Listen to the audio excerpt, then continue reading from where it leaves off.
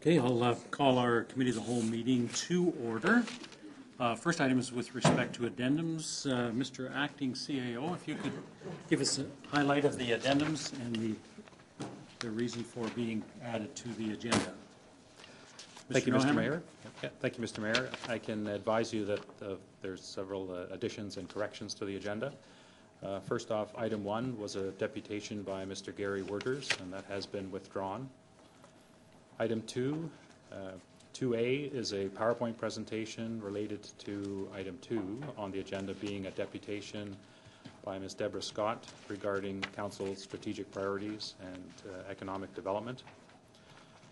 Item 3A is a building permit fee review report by BMA Management Consulting, Inc., and that's related to items 3 and 11 on your agenda. Item 10A is a deputation by Mr. Athol Hart uh, regarding item 10 on the agenda, being town crier correspondence. Item 12A is a deputation by Mr. Paul Jolie related to item 12 to address the committee regarding the Ontario Municipal Cycling Infrastructure Program. Uh, There are two items, 12B and 12C, on your agenda, which should actually be 14A and 14B, as they're deputations related to item 14 rather than 12. And they're on the agenda being a bylaw with respect to parking and storage of recreational vehicles in residential zones. Item 24A is a PowerPoint presentation by Ms. Diane Humanek regarding Bogart Mill Development Committee, and that's related to the public session being held tonight at 7 PM. Item 25 is a Development Infrastructure Services Report, PWS 2015-55, and that's dated September 18th, 2015, and it's regarding snow storage alternative update. And item 26 is a Community Services, Recreation and Culture Report, number 2015-28, dated September 16th, 2015, regarding Hollingsworth Arena replacement follow-up. Uh, In addition, uh, you will have correspondence from Mr. David Nelson uh, regarding an objection to item 14, being the bylaw with respect to parking and storage of recreational vehicles in residential zones, and that has been circulated to members of council.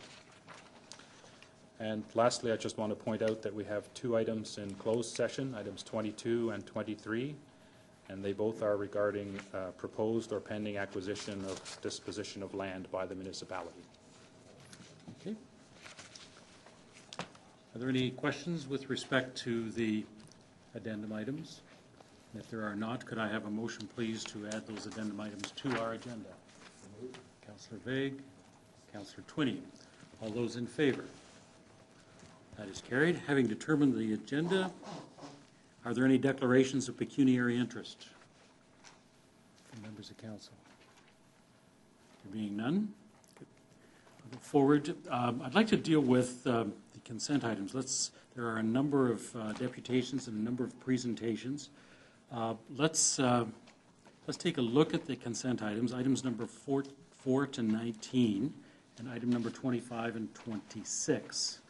Now, I know that we do have deputations for items number 10, 11, 12, 14, and 20 is an action item, as is the notice of motion, item number 21. So are, so we'll deal with those separately. Are there any other items on the consent section that individuals would like to deal with separately? Councillor Bisanz. Um, Item 18 and 25. Item number 18 is Patty McCullough parking restrictions. And item number 25 is snow storage, okay? Are there any other items? Councillor Twinney. Um, are we having a, is it, uh, action item number twenty-six? Are we having a report from Mr. McDougall on that, or do I need to pull that? Item number 26, is that an action item? Nope, we could, we could pull that, that's the Right. Hollingsworth Arena, so Yeah, we'll pull thank that one as well, okay, thank you. Regional Councillor. Uh, Item 17, number 17, okay. and a- and 20 is an action item, correct? Yes, that's correct. 20 and 21 are action items, as um, are, I think, 22 and 23. Is there anything left there we can approve by consent? Can I have a motion then to deal with items, well, Mr. Clerk, I'll I'll rely on your record.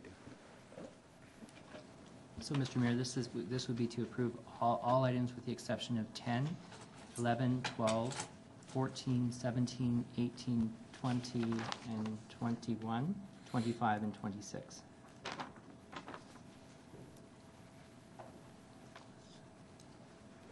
Can I have a motion to that effect, please? Councillor Bisanz, seconded by? Councillor Sponga. All those in favor? That is carried. I'm going to ask for uh, council's indulgence. We have a number of deputation requests, all related to reports that have been pulled. Um, And so I'll break from the numeric approach and uh, go forward with the receiving deputations uh, relative to these items. The first deputation is Mrs. D- Ms. Deborah Scott. If Ms. Scott could come forward. um,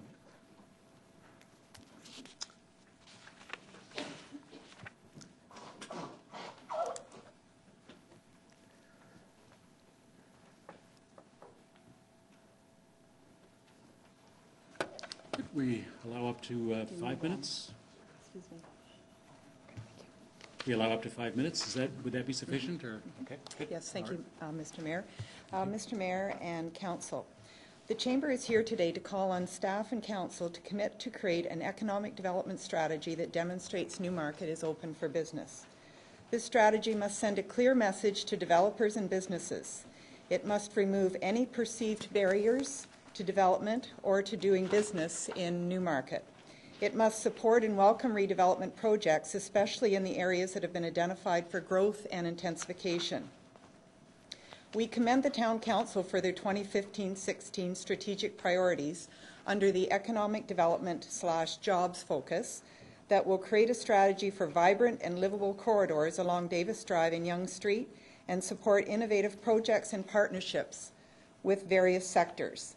Under the focus, efficiency and financial management, it says you will also explore partnerships and collaborative projects with other agencies.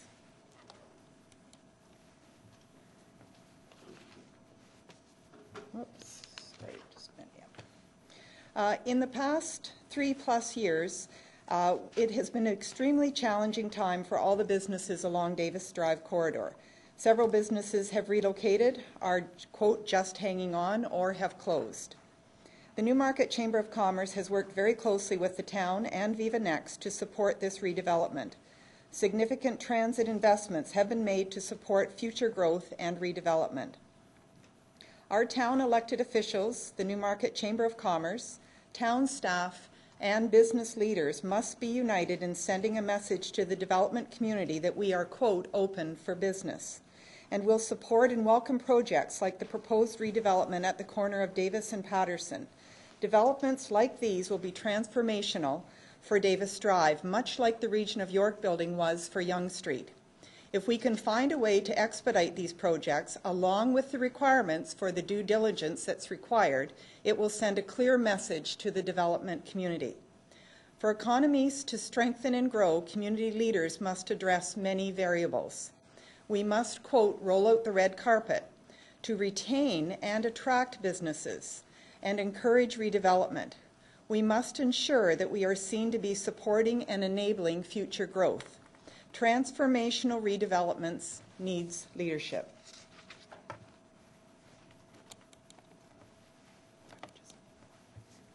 We urge you to help remove the barriers to incredibly long approval processes and decision-making. Removing barriers to development or growth will send a message to the development community. There is a need for innovative solutions and partnerships in the future. It cannot continue to be business as usual.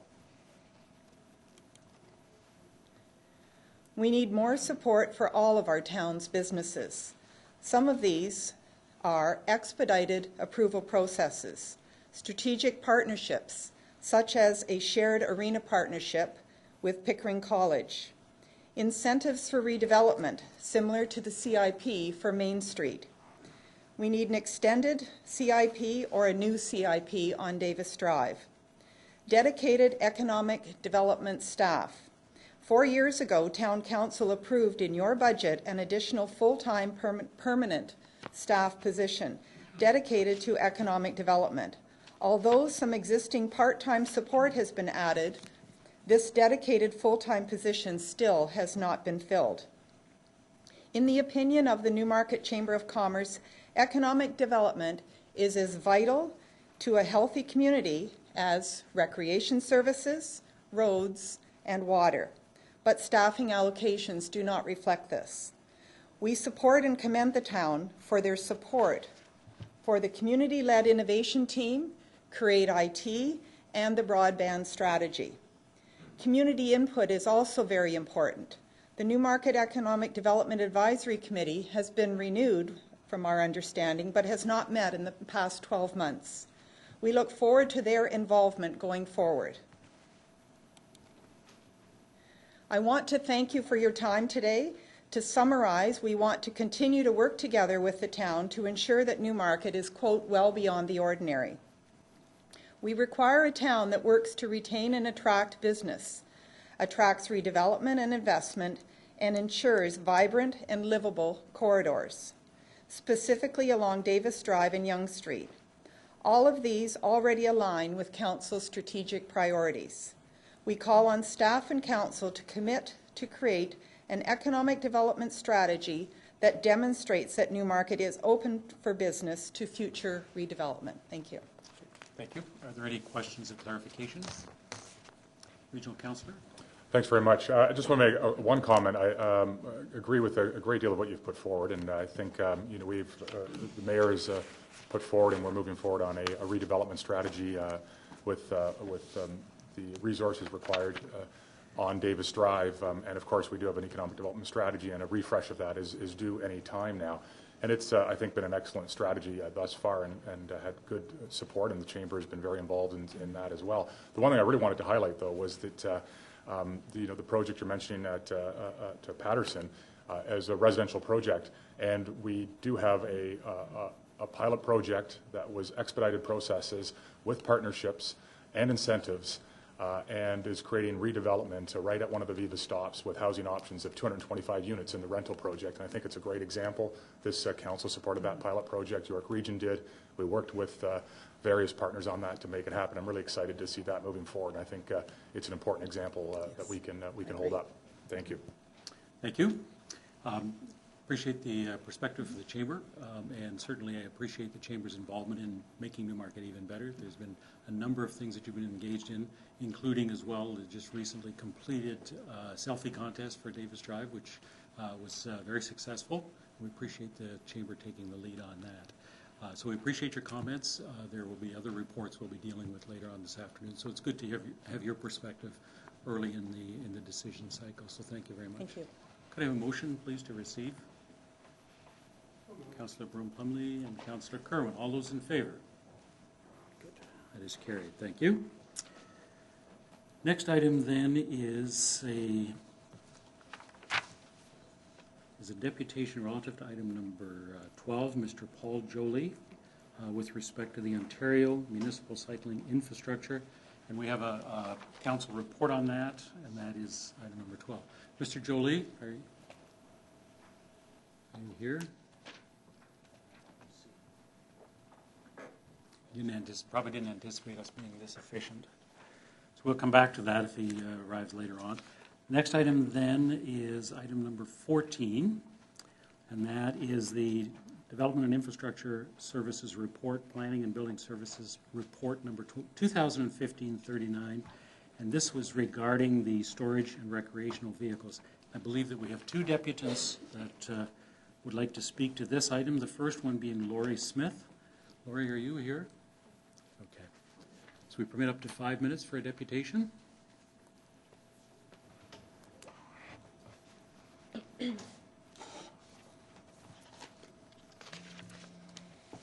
Your Worship, Council, and staff, I have been actively involved in this process of having this bylaw reviewed since my deputation in January of this year. I am a bit disappointed after reading the report from the Planning Department. My intention was to have the bylaw relaxed slightly for homeowners of recreational vehicles. I feel my attempt may have been futile as the recommendations from the planning department only makes it easier to enforce the few hours per month allowed by either 72 hours or four days of allowable parking. Before simply going along with the planning department's recommendation and voting for option number two, I implore you to seriously consider the seasonal option number three, as I feel it is the only sensible compromise. I would like to point out that the surveys conducted were flawed at best. The online survey had a very pure number of responses, and let me point out that the phone number, phone survey of only, only 400 residents represents fewer than half of 1% of the residents of Newmarket. There are so many points that they have been already made to justify a seasonal bylaw amendment at a minimum. A few examples of these are, number one, these are provincially licensed vehicles which can be legally parked on the roadway, so why not on one's private property? Number two, four days per month may be adequate for loading and unloading for a single trip per month, but what about people who want to use these trailers and recreational vehicles for multiple trips in a given month? And this still doesn't factor in any time for maintenance of safety systems and general repair. Number three, please keep in mind that for some people, this is their affordable vacations. Not to be allowed to park their trailer or recreational vehicle on their own private driveway could eliminate this type of vacation as an option for some. Seasonal option could promote more outdoor activity for parents and children alike. Number four, this bylaw is discriminatory. Being complaint-driven makes this completely discriminatory, causing unnecessary neighbor disputes. Not to mention because of complaints being anonymous, how would one know if the person who complained had moved and now would be okay to park freely once again? Number five, the economic impact on local businesses that sell recreational vehicles and accessories, not to mention fuel and food, which are purchased by those people packing up for their recreational trips. Number six, we live but a stone's throw from Lake Simcoe and all the outdoor recreational opportunities, be it winter or summer, which provide so many with so much enjoyment in life. Number seven, according to previously presented report, there was an average of only 90 complaints per year related to recreational vehicles. I would remind council this is roughly one-tenth of a percent of Newmarket's population. I would like to ask a simple question of the council. How will the bylaw department enforce this bylaw in a timely fashion if there is all of a sudden a sudden increase in the number of complaints lodged by the residents who feel it is unfair they cannot park these vehicles while others are allowed? After all, discrimination is not an option. Another question remains unanswered. What is the purpose of this bylaw? If the sightlines and safety are the main concern, then the four-day option seems useless. By putting seasonal restrictions, which include size limits and setbacks, any safety issues can be resolved. Another point to be made is that although there was not a huge turnout at the last meeting, there was not a single person who spoke in favor of anything less than a seasonal change of the bylaw. Not one person spoke against recreational vehicles. In closing, I once again thank you for your time in hearing me and remind you to take into consideration that seasonal is still the correct option for the town of Newmarket. Thank you. Thank you. Are there any questions of clarification? Okay, We'll receive the two deputations uh, simultaneously. Thank you very much. Thank you. Our next deputation then is Mr. Mike Hodge.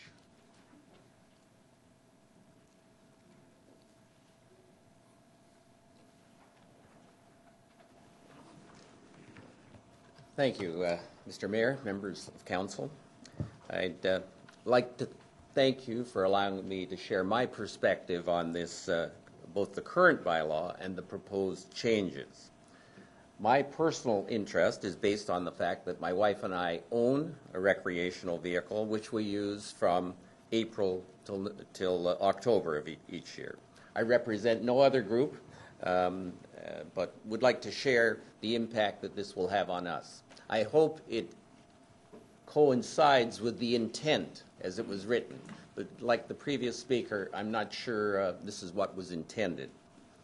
Our RV is stored at a facility north of uh, our home, and we bring it only to our home uh, before and after our frequent trips. Uh, we are uh, both uh, retired, so those trips don't always, uh, fortunately, have to occur on, on weekends. The current time allowance of 72 hours a month does work well for us since that we seldom would exceed that number of hours in a given month. As I now understand the proposed changes to four days each month, that would really restrict us to two outings. We obviously have to fill it up. Let's suppose we go out on a Thursday. And then when we come home, we have to unload it. There are two of our four days gone. I can give you an example of our past weekend. We left, uh, we brought it home for about two hours on Thursday and left. One day gone.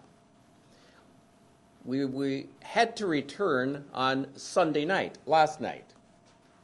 Our storage is closed at 6 o'clock, so it had to stay overnight until this morning at 10 o'clock when we returned it. Day two disappeared, day three, so that weekend away took three of the four days that we would be allowed each month. Um, the proposal, as written, suggested that four days would allow four weekends. I'm not sure whether that's to unload it each weekend or to load it, but clearly not well thought, uh, well thought out. For that reason, I would personally support either leaving the 72 hours or, as the previous uh, speaker suggested, having it seasonally. We personally do not want to leave our RV in the driveway all the time, which is why we uh, pay for uh, storage. With regard to the length of the vehicle, I understand that it was in 1979 that someone uh, developed the bylaw saying seven meters. Um, I did a quick uh, look on the RV Trader today, and there were uh, 291 RVs for sale. One of those was seven meters or less. Uh, so there are almost no uh, motorhomes of that size, uh, nor are they manufactured. Our RV exceeds seven meters. However, it does easily fit in the driveway, and we easily could allow two or even three meters um, sight line for people to get out of adjoining driveways. However, the proposal as it is now before you would not allow us to ever put that vehicle in our driveway. However, every day of the month, we could leave it on the road. I'm sure that wasn't the intent. So, in summary, um, I would support either leaving it as it is and excluding the minimum, maximum length of the vehicle, taking the oppor- opportunity to use the sight line of the one meter as it is now, or two if you'd like it, um, and uh, going with the 72 hours or the uh, seasonal as suggested by the previous speaker. To suggest that I can never put that vehicle in my driveway is, in my opinion, ludicrous. And by the way, so that you know, I know that the same vehicle, um, since we moved to Newmarket almost 12 years ago, we have done that every year, and I assume no one has complained since no one has ever come to bring a complaint forward. I thank you for listening. Thank you. Questions of clarification? Councillor Hempen? Yes, thank you, Mr. Mayor. Actually, a bit of a comment, sir. I believe I spoke with you uh, last week, and um, the uh, current bylaw or- nor the uh, amendment to the, what's proposed in the amendment here um, relate really to your vehicle. Since that time, I've had, because of the length, your vehicle exceeds the 7.6 meters, and what we're dealing with here today is the current 7.6 meters, and, and we have this report and the recommendations that are coming forward from them. I have had the opportunity to speak with our bylaw department, and the bylaw department are willing to work with you. Um, You can make that phone call to the bylaw department and get clarification on that. I spoke with Leslie, and um, you can ask for an exemption, um, a- and you can get more clarity from, from our bylaw department if you give them a call, but they are willing to work with you and other residents in your circumstance. Thank you.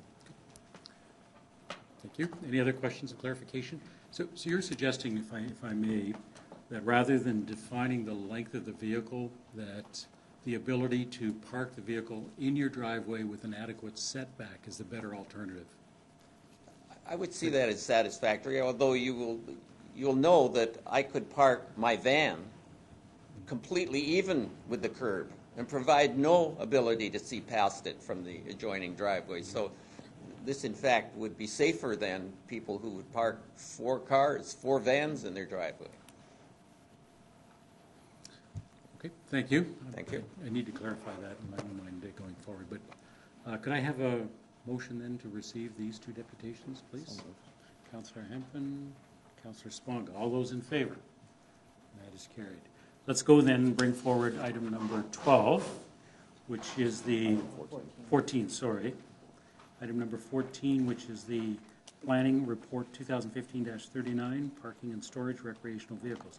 We do have the recommendations before us.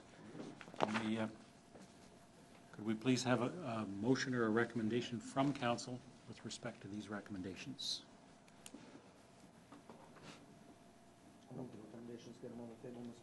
Okay, moved by Councillor Sponga to put- to have the discussion on the table. Is there a seconder for that? Any subsequent amendments could be uh, sure. considered? Okay, regional councillor, thank you. Speaking to the the recommendations? No, not at this point. Regional councillor, speaking to the recommendations? I have questions for There's no staff first, Yep. and then when you want to do that, or? That's what we, yep, that's Yeah? good. Yeah.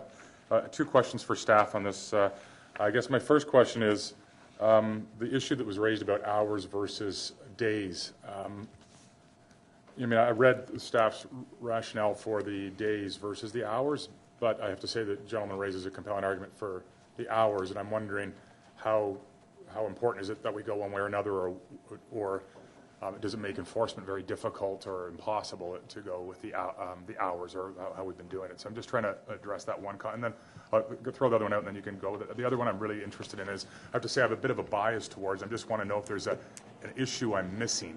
But I feel like if we're limiting um, the vehicle's days, let's say four days, or whatever number of hours, as opposed to seasonal flat out, I have a much less of a concern with the length of the vehicle because it's only there for a day or two. So I, I don't see the reason for distinguishing between somebody's got a mid-size or a full-size because they're using it to be there for a period of time, loading, unloading, you know, preparing for a trip. I mean, if, it, if we were going seasonal and it was there all the time, then limiting the size of the vehicle would make a lot more sense to me because the impact of a super large vehicle in the community can be, uh, can be potentially substantial. But so I'm one, those are the two issues I'm looking for some clarification on. Mr. Nethery?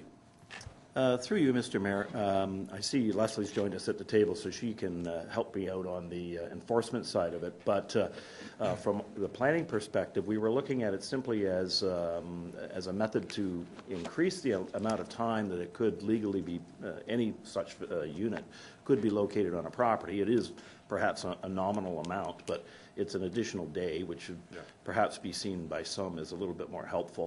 Um, The, uh, I think Leslie might be able to reference some, some issue around the difficulty associated with, with it expressed as hours in terms of the uh, officer's ability to go and actually mark tires or whatever the, take photographic evidence, whatever they, they do. So I'll, uh, I'll turn it over to her in a moment uh, in respect to that. In terms of the, uh, the other item that you raised about the, uh, the length, um, Now, that is the length that has been in there, and I, and I guess I should, I should point out, and I'll, I'll have the same, the same uh, uh, opportunity to, uh, to identify that I also have one, like you and your father does, but, um, you know, it, it does tend to sort of occupy my driveway when it's in there. But um, to the extent that seven meters is, uh, is probably less than the one that I happen to have, but it doesn't sit in the driveway.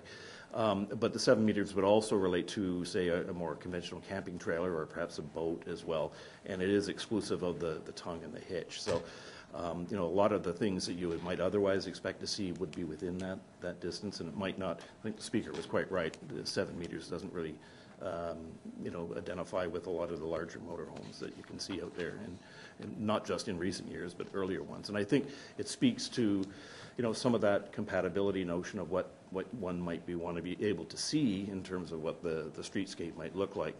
The bylaw that uh, is being recommended also speaks to a little bit about the, some of the, the safety aspect or, um, you know, the, trying to establish a setback from a sidewalk or from a curb that wasn't there previously. Uh, So, you know, perhaps establishing that something might be set back a meter or so from the property line so that it's uh, enabling a neighbor to back out and still see what's going on as traffic's going by. Leslie?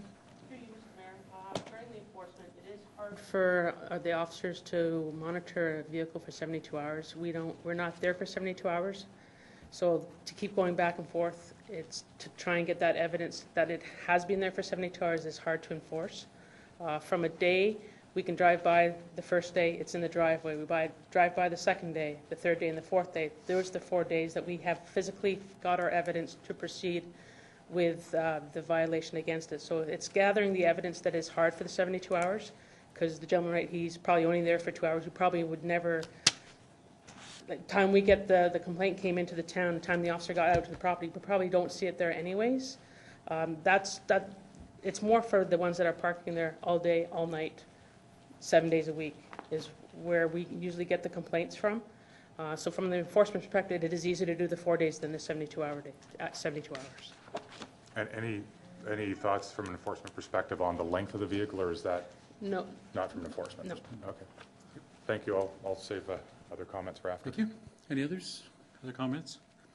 Um, I'm I'm mindful of what's been raised earlier, and the 72 hours is actually to accommodate or to be expedient for us uh, in terms of enforcement. Uh, And, and the way I read the intent is that we really don't want the driveways to become storage areas for recreational vehicles. Um, And so I'm I'm somewhat uh, sensitive to the, the notion that two times, two times a weekend, one to load and one to unload. Uh, And uh, I'd, I'd like us to give some thought to, rather than saying four days per month, maybe we do eight days per month, which is the load and unload, and then that still deals with the absence of not having these units being stored all summer long in, in the driveway. So I, I- I would like council to give some, some thought to that, to change that, and to still to accommodate uh, frequent travelers to, uh, to a large extent for most of the time. But uh, I'll have, uh, I'll hear from council, regional councillor, and then councillor Vegh. Uh, Yeah, I was going down a similar thought process. Uh, I- um, It's hard to pick the right number. I was thinking six days. That's three trips per month, which is probably quite a bit. Um, And even then, I'm sure there's flexibility. Uh, I know it doesn't solve everybody's problems, it's somewhat seasonal, but it does expand the number um, from the original 72 hours quite a bit. Another thing I was wanting to look towards, unless there was a compelling reason, is that, that we have some sort of setback from the end of the driveway, you know, whatever it's not recommended, five feet or something, and then size. I think if you, again, I, I, I see the, the restriction size being relevant if a vehicle's there, you know, all the time, but if it's only a handful of days or hours um, per season, then I would think that it, it, it uh, isn't, I, wouldn't want to start distinguishing and, and saying it's okay for somebody because theirs is slightly smaller than somebody else's. I mean, it's a, it's a temporary action, so uh, those are the two things I, I would think we would be um, wise, and whatever number we land on, um, you know, I'm, I'm flexible in that, but I think maybe expanding the number to allow for more trips in and out by the days to accommodate that issue, and then I'd like to see us also consider uh, making the size of the vehicle not as relevant as just the setback from the end of the driveway. Okay. I have uh, three speakers, Councillor Vegh, Councillor Twinney, and Councillor Sponka, and- and then shortly after that, we could put some for- forward some amendments if that's appro- considered appropriate. Councillor Vegh? Thank you very much. Um, And and thank you for the, for for the deputations. Uh, th- This is an issue for uh, many people in the town, uh, those who wish to store, and quite frankly, uh, the vast majority that um, wish there was not that type of storage. Um, However, after after that comment, I was also thinking of five or, five or six days um, to to accommodate uh, the the gentleman who's just there for a couple of hours and then then leaving. Um, Eight days, uh, kind of sounds to me that you have some family visiting and living in your trailer. Uh, You're starting to look at a long period of time if it's eight consecutive days, and I'm not sure why um, people would be storing it for eight consecutive days on, on their driveway. So, you know, to increase it to five days or even six days, uh, I think it's quite reasonable and takes away um, the, the concern that some people may have that it becomes a more permanent s- storage. Thank you. Councillor Twinney? Uh, Thank you, Mr. Mayor.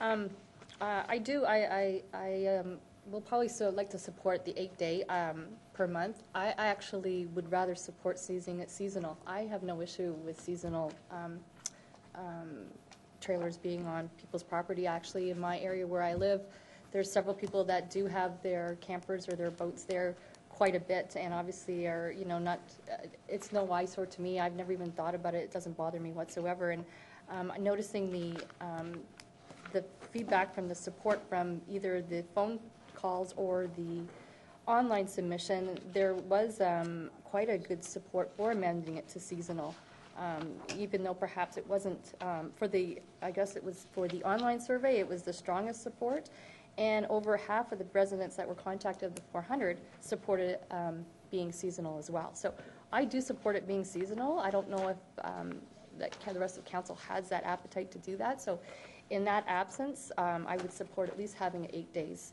I feel that this is a, a way for people to, who have recreational vehicles, as the, uh, as the deputy said, to uh, have holidays that are affordable. um, And uh, in this day and age, we want to make sure that people get out there and are able to have affordable vacations.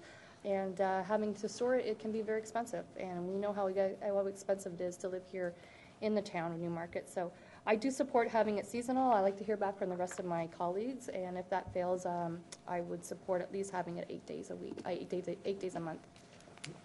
Thank you. Councillor Sponga, then Councillor Kerwin, Councillor Thank you, Mr. Mayor. First of all, um, I want to apologize, a very bad back-to-school cold, and uh, um, so I'm going to try to keep my comments uh, very short and my questions. Uh, My understanding is one of the issues is, uh, as the gentleman spoke earlier, that they uh, return from a trip uh, in the evening, and the opportunity to bring that vehicle to storage for whatever reason might not occur within that same um, day. Um, And so then you're eating into your allowable days. Um, Is there any, uh, was there any thought given to say you can have your vehicle parked there um, in a limited number of, of times? Because as, as the gentleman, Mr. Hodge said, they're retired and so, I mean, they could take a trip in the middle of the week, on the weekend, whatever. But that, uh, for example, so that somebody could have their trailer parked there for 48 hours, but not consecutively so that, yes, you can bring in, an, uh, in a limited number of days, you can bring in your, um, your trailers, but they can't be on consecutive days, or they can't exceed more than 48 hours just for the purpose of loading and unloading or maintenance. Um, Is any consideration being given to that? Mr. Nethery? Through you, Mr. Mayor, we, um, we did have a look at a number of um, uh, approaches being taken by other um, municipalities within the southern GTA, and um, we didn't find anyone that actually tried to parse it out that specifically. I think the difficulty would once again be on the matter of enforcement. We did frankly look at a number of different options that, you know, obviously leave it alone or, or uh, modify it in terms of the length of time. But one of the objectives that we had was that trying to address the difficulty in enforcing these things in a meaningful way. Um, And, you know, it's quite clear, there's a number of them out there that don't get a complaint registered against. So, you know, frankly, um, you know, you can almost take those out of the picture for this discussion. But for those where you do, clearly the time is something that then involves Leslie's staff, and then it's a matter of how you can get out there. Um, I think the, the point that has been made in terms of the, um, you know, you get home just a little bit past when the thing, the storage facility is closed is a valid one. Um, One of the options that we did speak about even in the most recent report was that if council sort of bought into the idea of the four-day, uh, but didn't think that that was enough, that they could consider, for example, the eight days. And the principle there would be you've got the Monday and the, and the Friday to load, unload when you're uh, sort of bracketing your, your weekend trip. Um, And uh, that might be of, of some assistance, at least for some of the folks as well. So, you know, it really depends on, on what the specific circumstances are. Uh, We're trying to bundle them all together, but a lot of them are a lot different than others. And frankly, if you're talking about a smaller boat that might even be able to be, you know, accommodated within, within a garage. So um, the solution for one isn't necessarily going to be a solution for them all. Okay, thank you. Thank you. Councillor Kerwin? Yes, uh, it's, uh, first of all, I'd like to thank uh, Mike Hodge for a, a- a meaningful and and thoughtful presentation. But it seems to me, Mike, uh, you're a really responsible citizen, and you just come in for a couple of hours and you go out. That's not the type of, uh, of uh, conduct that we're looking for. We were looking for in this bylaw, the storage of a recreational vehicle when you start to use in about April, through in your parking, on your driveway for about six months. Um, I think that's what's being asked here, that you're allowed to store or have your recreational vehicle in your driveway for a period of when you use it right through to the end of the season. But the question I have is the, the 1979.50 bylaw. Uh, You're quite right. Trailers were smaller then. Now they have gone to, let's use feet, they're 40 feet or almost uh, 48 feet. I've seen them. A friend of mine has one, a a long one, big one. And I want to check with the, the bylaw officer. Why, why haven't we changed the, the length of the vehicle, even if we just have them there for four days or six days? Uh, Why haven't we changed that length in the bylaw? It's still at uh, seven meters, which is 28 feet roughly. Through you, Mr. Mayor. I'll turn to- that over to Mr. Nethery, since Oh, this to- is a to- planning to Rick. report. Yep. Sure. For the, uh, through you, Mr. Mayor, for the most part, um, if we look at a lot of our typical residential areas, say London Road or Leslie Valley, those kinds of areas, they're typically built to a standard of um, uh, seven and a half meter uh, minimum front yard setback. Uh, So that means that your driveway is, is certainly no longer than that. So the typical length of um, what your driveway might be able to accommodate and still leave a little bit of buffer between your property line is, is of the order of seven, seven and a half meters. Um, You know, uh, I guess if you were, uh, if you were to try to accommodate one that's as many as 12 meters, which I guess is what 40 feet works out to roughly, um, it literally would, would not be able to fit in most typical driveways um, and would need to rely on parking on the street. I don't know how frequently people are utilizing those things, but uh, um, anyway, it had, it had something to do with the typical lot size in town.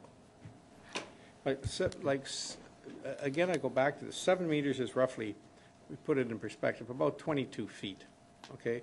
But most of the vehicles today are longer than that.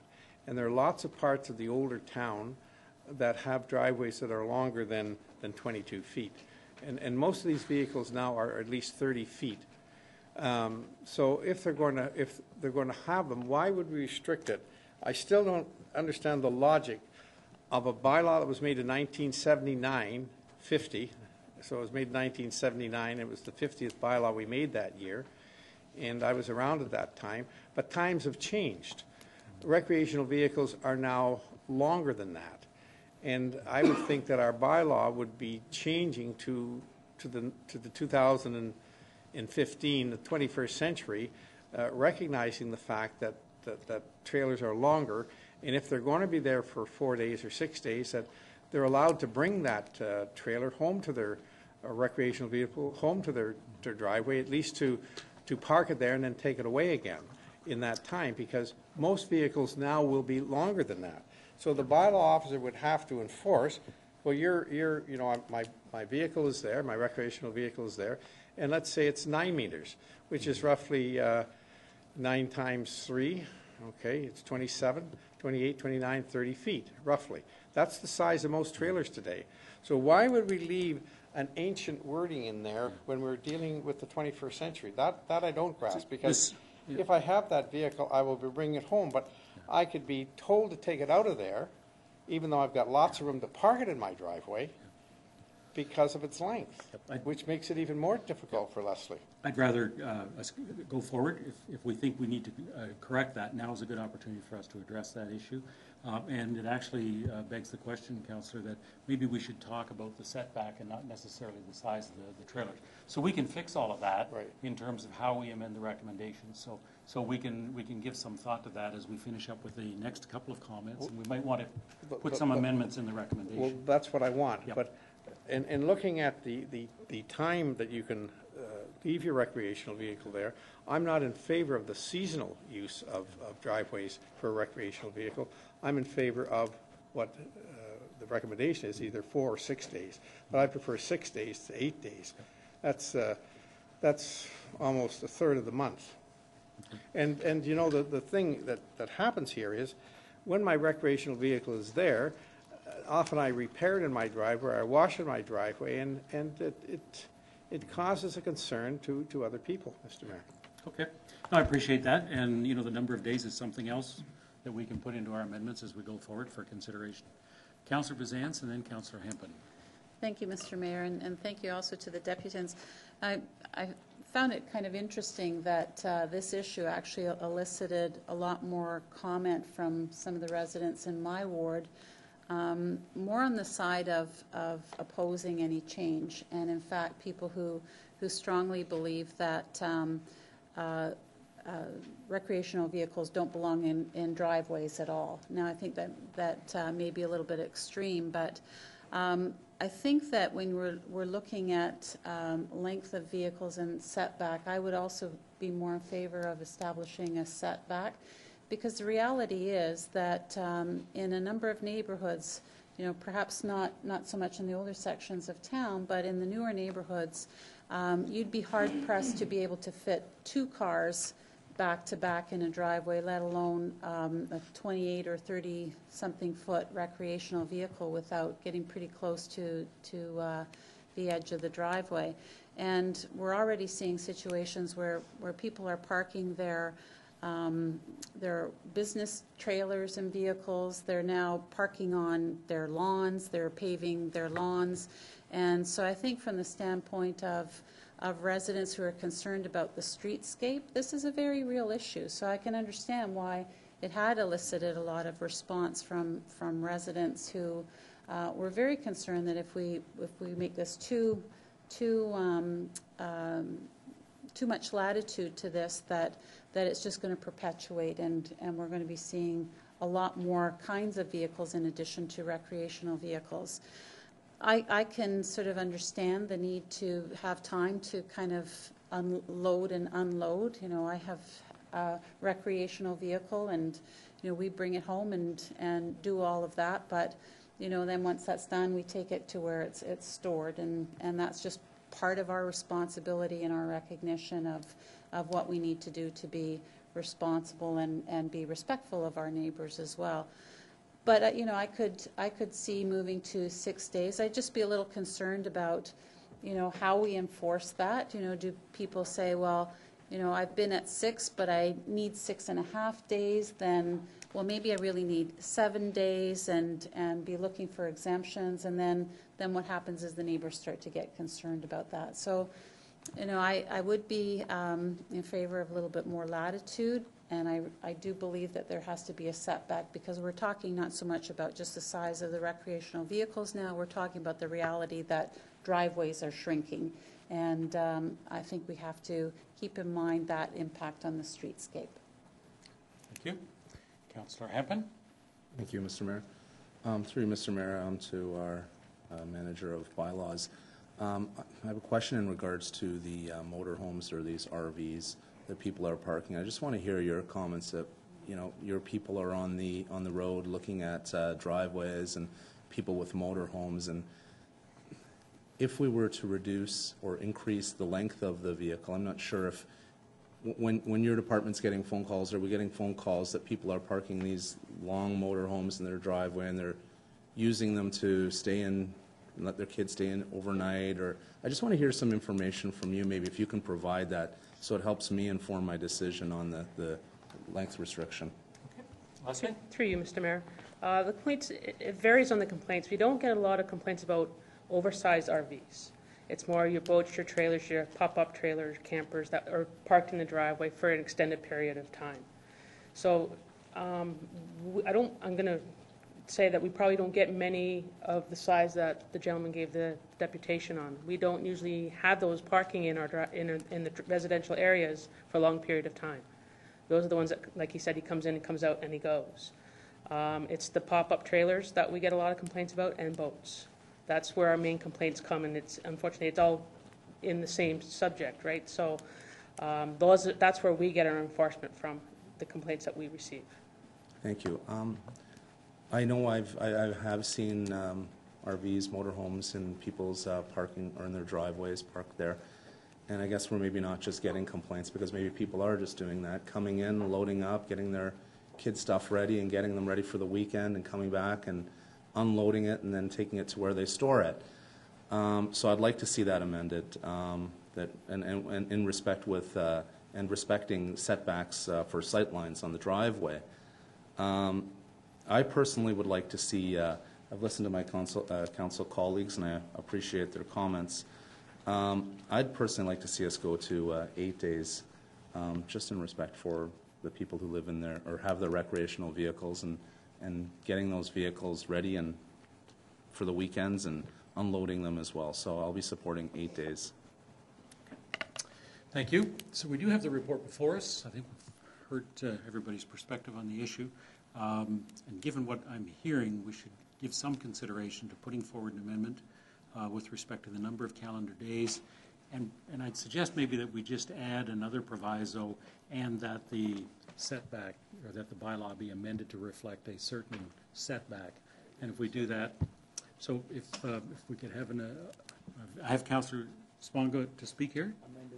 to reflect that. Mr. Mayor? Okay, now, uh, now what's your intention, Counselor? The Six intention or is eight to days? amend it to eight days. Uh, However, I would refer back to staff in terms of the setback. Uh, And that, that provisions be given, or that the bylaw be amended to, to reflect an appropriate setback? And That- that be should brought back to sufficient council. direction? No restriction on length? Hmm? No restriction on light, just The setback. setback, okay. So then, uh, who do I have as the mover and seconder on that? Mr. Regional Council. Okay, regional council. Okay, uh, and I also have uh, Mr. Nethery wishes to speak. Is that correct? Mr. Mayor, if I could, I just wanted to clarify, the, the draft bylaw that's before you includes um, the requirement for a, a one-meter uh, setback, as I described. So uh, are we satisfied that the one meter is enough, or are you suggesting we take a, a look at that to see if we need a, a different number than the one meter? So let's, let's just ask you, do you, are you, you satisfied that one Well, meter we is believe sufficient? that it is, Okay. um, and that, you know, unless there was some other uh, reason that we're, we're happy, we're in your hands, but uh, if you're comfortable with that, then we can ensure that the, And- the bylaw that we bring back reflects the eight days as well as that, that setback. All right, uh, so the way, the seconder needs to concur that to the, you were, I think you are the seconder, yeah. Eight days, okay. Uh, Counselor Kerwin? I'm, uh, I'm happy with the setback. That, that accommodates uh, what uh, Councillor Bisanz was talking about, what I was talking about, because if you have a, a longer driveway, then that accommodates a, a longer vehicle. If you have a shorter, it accommodates that, but, but it's a setback. But I still, myself, I prefer the six days, because six days often goes to eight days, and eight days goes to 10 days. 10 days goes to the month, so I like the six days. I think it's, it's plenty of time to come in and come out and unload and uh, take your vehicle out of there. Okay, thank you. Uh, The motion as it stands amended is amended to eight days. Do you do you wish to deal with that separately? I also want to uh, uh, recognize that if we're going to make reference to setbacks only, then the size of the vehicle would not be referenced in the bylaw. Is that your understanding, Mr. Nethery? Well, that's what I took from this From the intent. conversation. Okay, that's good. Okay, that's, that's what the motion is. Okay. All right, uh, I'll call the question then. All those in favor? Opposed? Three, so three opposed?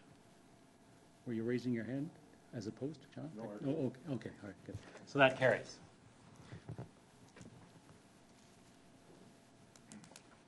Okay. So that deals with item number 14. Is Mr. Jolie here? Okay. Mr. Jolie, then if you could come forward with your deputation concerning the, the uh, municipal cy- cycling infrastructure, that's item number 12, report on our agenda.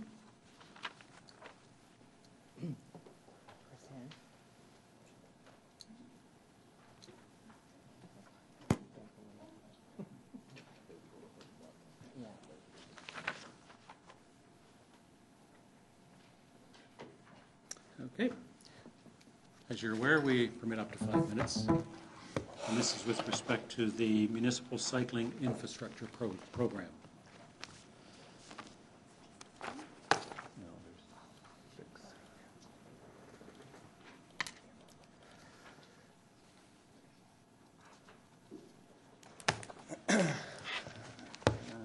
Go ahead.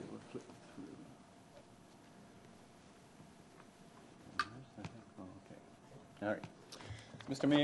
Councilors, I've been wanting to discuss uh, biking infrastructure in Newmarket, and your inclusion of item 12 on today's agenda has spurred me on. I won't waste your time listing the attributes of biking to work or school, but suffice to say that no bicycle manufacturer has ever been caught cheating on its diesel emissions. While I welcome any moves to provide for a more bike-friendly environment, I don't think that the route recommended in the staff report addresses our needs. What I envision is a segregated bike lane to promote bike-to-work and school options, not just for a week or a month, uh, but year-round. Presently, Newmarket can point, can point to a lovely north-south path along the Tom Taylor Trail.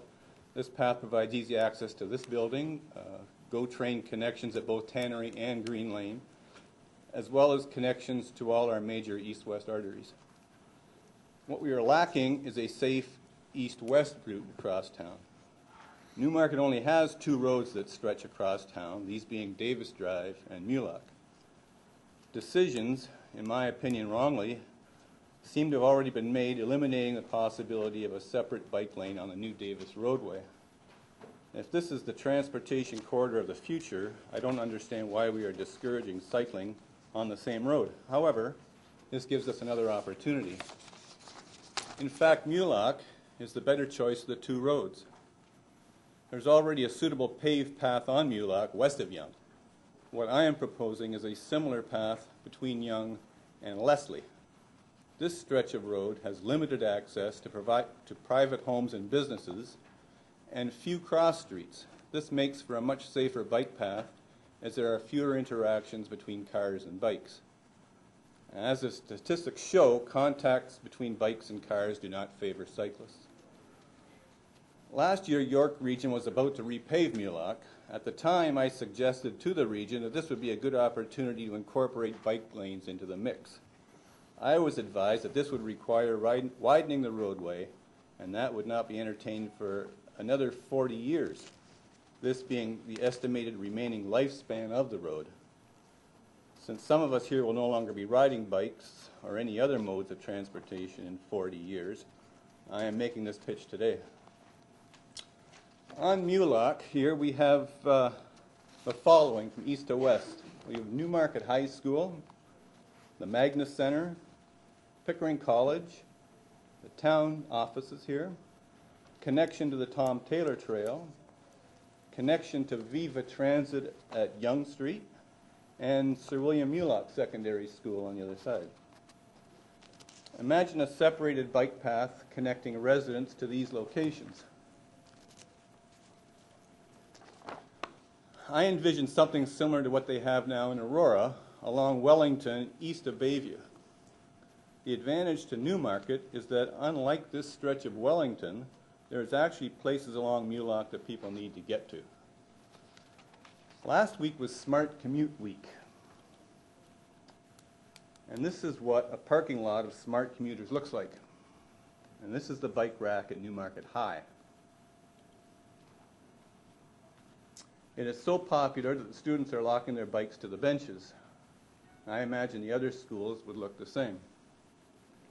As a mode of transportation, students are by far the biggest end users of your bike lanes.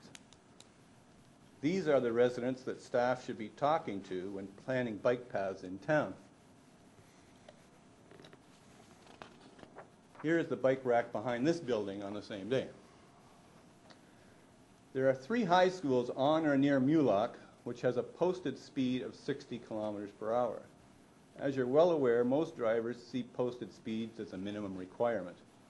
Newmarket drivers are not happy to share the roads with bikes, and major thoroughfares such as Mulock are not safe for cyclists.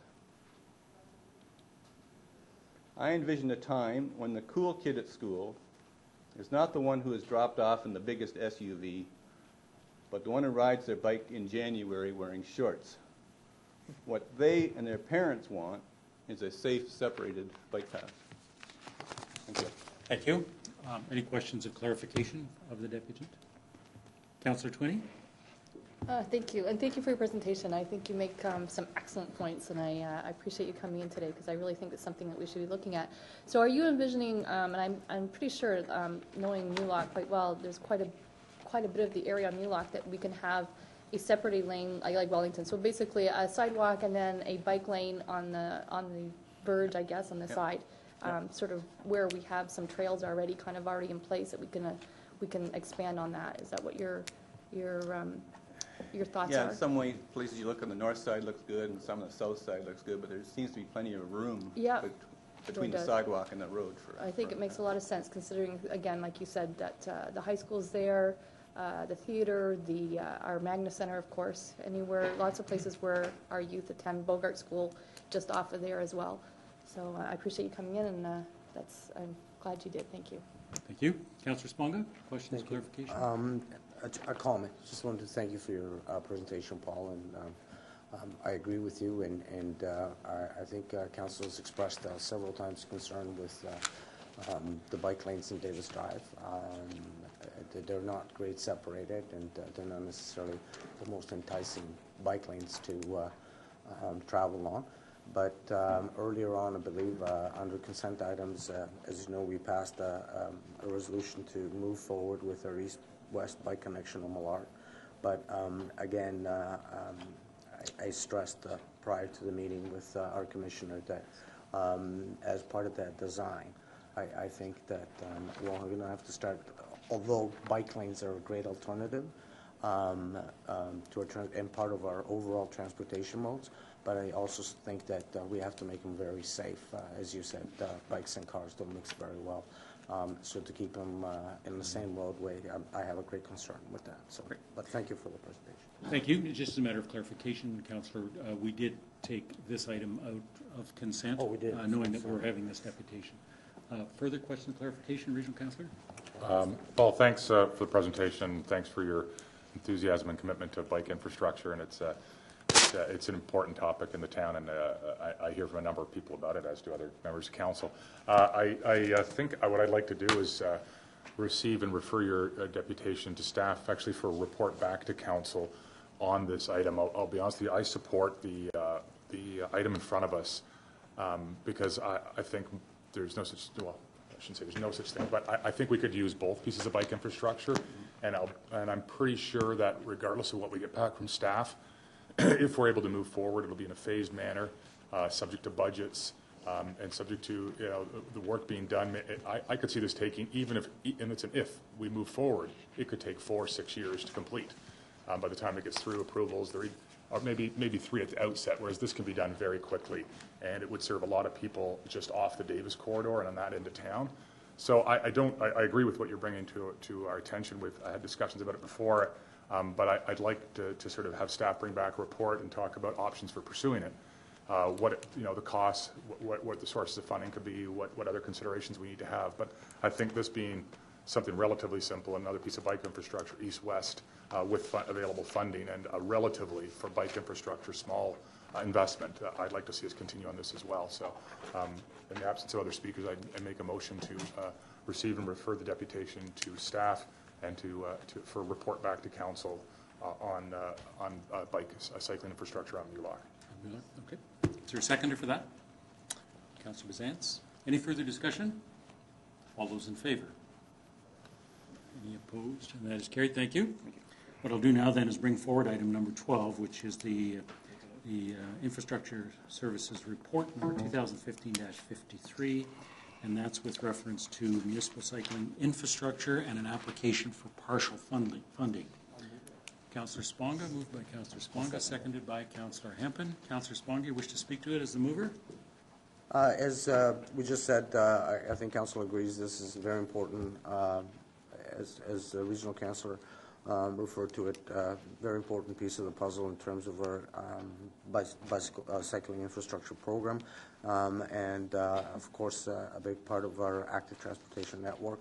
Um, I am, I have somewhat some concerns uh, as we move forward to design phase, but um, um, I guess uh, reports through you, Mr. Mayor, to our uh, Commissioner, I guess uh, there'll be a subsequent report on that, and this is just an opportunity to proceed with uh, the funding formula. Yeah, yeah, the funding application is what's being requested here. Mr. Noehammer? Mr. Mayor, uh, that's absolutely right, Councillor Sponga. This is uh, to seek endorsement of council to proceed with the application uh, for uh, provincial funding with respect to the Ontario Municipal Cycling Infrastructure Program. Um, We did submit an expression of interest for this particular uh, project. Uh, Some of the things that we did look into were uh, connectivity uh, with other north-south uh, facilities, um, connection to the downtown area, um, and uh, uh, areas in which uh, the facility could be created on uh, town-owned municipal road. Um, So I think uh, what it does emphasize is a need for east-west connectivity, and I, and I don't uh, disagree with uh, more options being considered. Um, And just in relation to your comment about further design work being done, that's absolutely correct. This would uh, proceed through the normal capital design process and address matters such as uh, separation with vehicles, buffering, uh, lane widths, um, and the type of cycle facility that would be appropriate for that context. Thank you. Um, Councillor Hempen is the seconder? Yes, thank you. Yep. Um, Yeah, I want to thank staff. I think this is a fantastic idea, and it looks great, and I'm looking forward to it happening. Um, I have been in the city in Toronto in the last uh, number of weeks and noticed that along Richmond Avenue, um, that they have uh, separated lane with collapsible pylons, and um, I'm looking forward to seeing the report, and hopefully we have that same kind of separation to create a, a safe environment for the cyclists. So thank you very much for the, the report. Thank you. Councillor Bisanz. Yes, thank you very much, and uh, I too appreciate this as a, as a cyclist myself. Obviously, I have uh, um, an interest in, in being able to, to uh, ride around the town. However, and I will be bringing up under new business an issue with respect to um, making sure that whatever we do doesn't have some unintended consequences that then we may have to, to look at remediating, and, and specifically um, whether there would be consideration of things like where where we may not want to be taking away parking, on-street parking, to have a, a bicycle lane go through, and whether, you know, within the context of the funding we're seeking, is that, is that really going to provide us with, with enough of what we need to put in place to, to truly make it worthwhile? Because there weren't a lot of details in terms of how this funding would be used specifically. And uh, so I'd just like to sort of make sure that we're, we're considering before just sort of um, cheering up and down and saying what an excellent idea it is to have bike lanes, which I believe it is, that we're also giving due consideration to um, making sure that we are also safely sharing the road, because the reality is there's still a lot of people using vehicles and, other than bikes. Thank you. Regional Councillor, then Councillor Sponga, and then Councillor Twinney. Yeah, uh, so to the points that have been made, just to clarify, and because I think we'll have this discussion again later, but this, this is for the funding, then we'll get back a report at some point that will lay out options for us around the exact route yet to be approved, the type of infrastructure in place, and the cost and funding. Is that correct? Okay, so I'll wait until that time. Thank you. Thank you. Councillor Sponga. Um, Just to Councillor Bisanz's uh, point, um, um, I did have a discussion with our staff in terms of the fact that, for example, um, our Haskett Park is used very well uh, by um, uh, local uh, sports groups, especially the Market Soccer Club, and that on a regular basis, uh, there's uh, cars are parked uh, from uh, uh, east of Forest Glen all the way to past the park. So those are the type of issues that we are going to have to um, consider as we move towards the design stage. But uh, having said that, I think it's a, that's a good first step forward. Thank you. Great. Thank you. Councillor Twinney. Uh, Just a quick question. Um, With regards to applying for the funding, if we- we apply for the funding and we're granted it, are we still able to look at different options for, the- like, are we, will this be concrete, like, are we, are, are, will the, like, what I'm saying is, I guess, will the funding be tied directly to this application with this map of the bike route? Or are we open to looking at other possibilities as well? Because I, I really do feel that this new Mulock has a lot of, there's a lot of credit to, you know, to maybe putting it there instead. So just wondering how, how tied it is to that, that funding to that particular application. Mr. Noehammer. Yeah, um, I think through you, Mr. Mayor. Um, So right now, this application is for the proposal that we put forward. Uh, It is subject, of course, to all of the preliminary and detailed design to resolve issues uh, with respect to its implementation. Um, I think it would be difficult to say that we would then come forward with an entirely different project uh, and still like to secure the funding because a business case was put forward in the expression of interest For for the merits of this particular location and what it connects to. Um, But I think as was alluded to uh, earlier, I don't think it uh, discounts in any way the exploration of other uh, options that have merit. Um, including those in, in other corridors on regional roads, so. And it's, sorry, and just to follow up on that through Mr. Mayor, and possibility of any other fundings, uh, applying for any other funding sources for those as well, right? That's Yeah. correct. Okay, great, thank you. Thank you. Seeing no further uh, questions, then I'll call a question. All those in favor of the recommendations? Any opposed? That is carried. Thank you. Next item is a deputation from Mr. Athol Hart regarding item number 10A.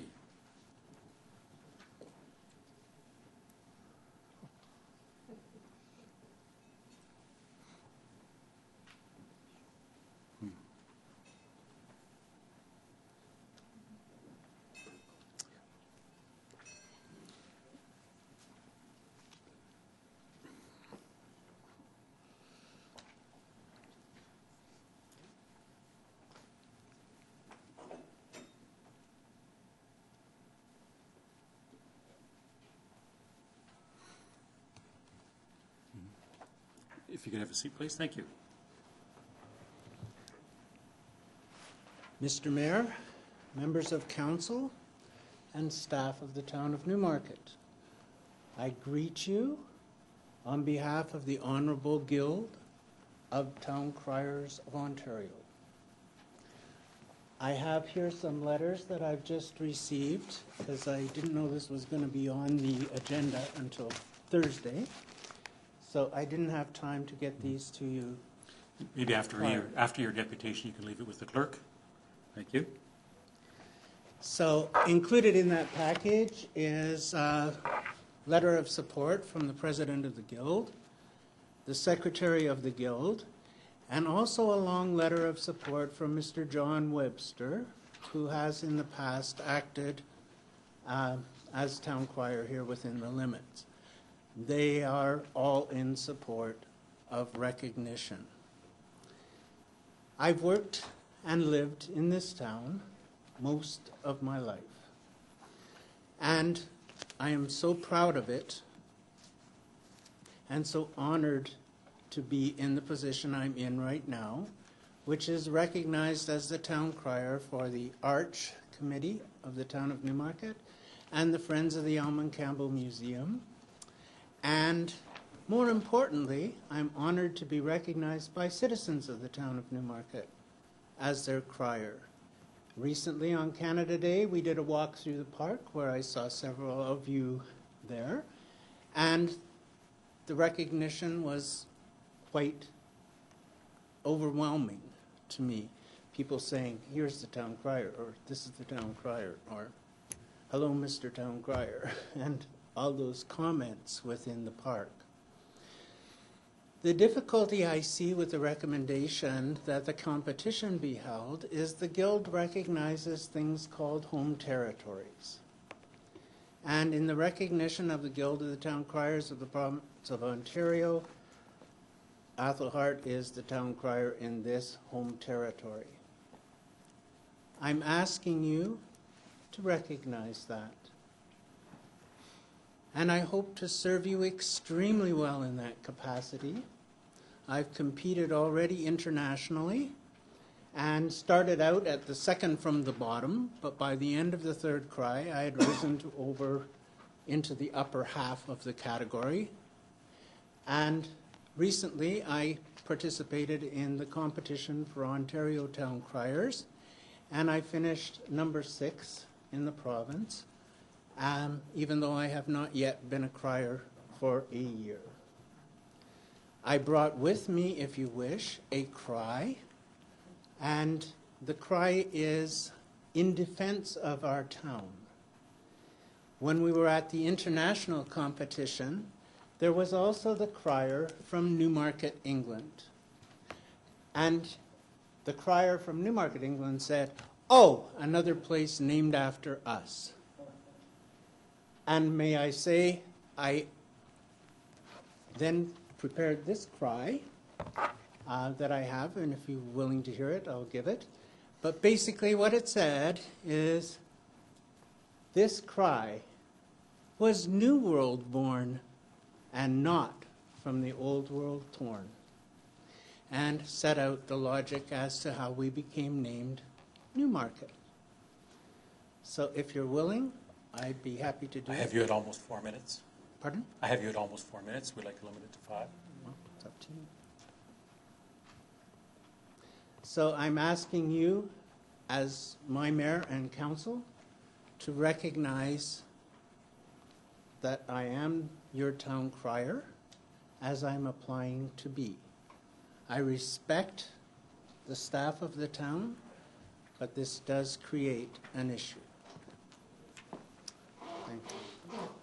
Thank you. Um, Any questions of clarification? Regional Councillor? Uh, Thanks for the presentation, Athol. Uh, I- I'm a little confused by the hometown concept. Can you just tell me, though, are there some cities or municipalities that have more than one town crier? No, there aren't. There's not. So what does Toronto or Mon- do if that person's on holidays? They ask the guild to provide another crier, and the guild provides another crier. For instance, um, Mr. Webster received an award at the regional center uh, this week. And he phoned and he asked if he had permission from the home territory to cry within this territory. And of course, I said yes.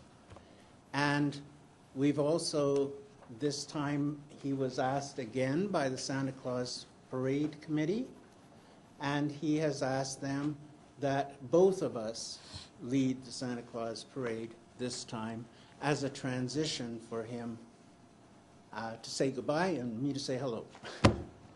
So it's a very respectful and honorable guild. The, the status and the history of town criers is centuries old. Thank you. Thank you. Uh, Councillor Vaden?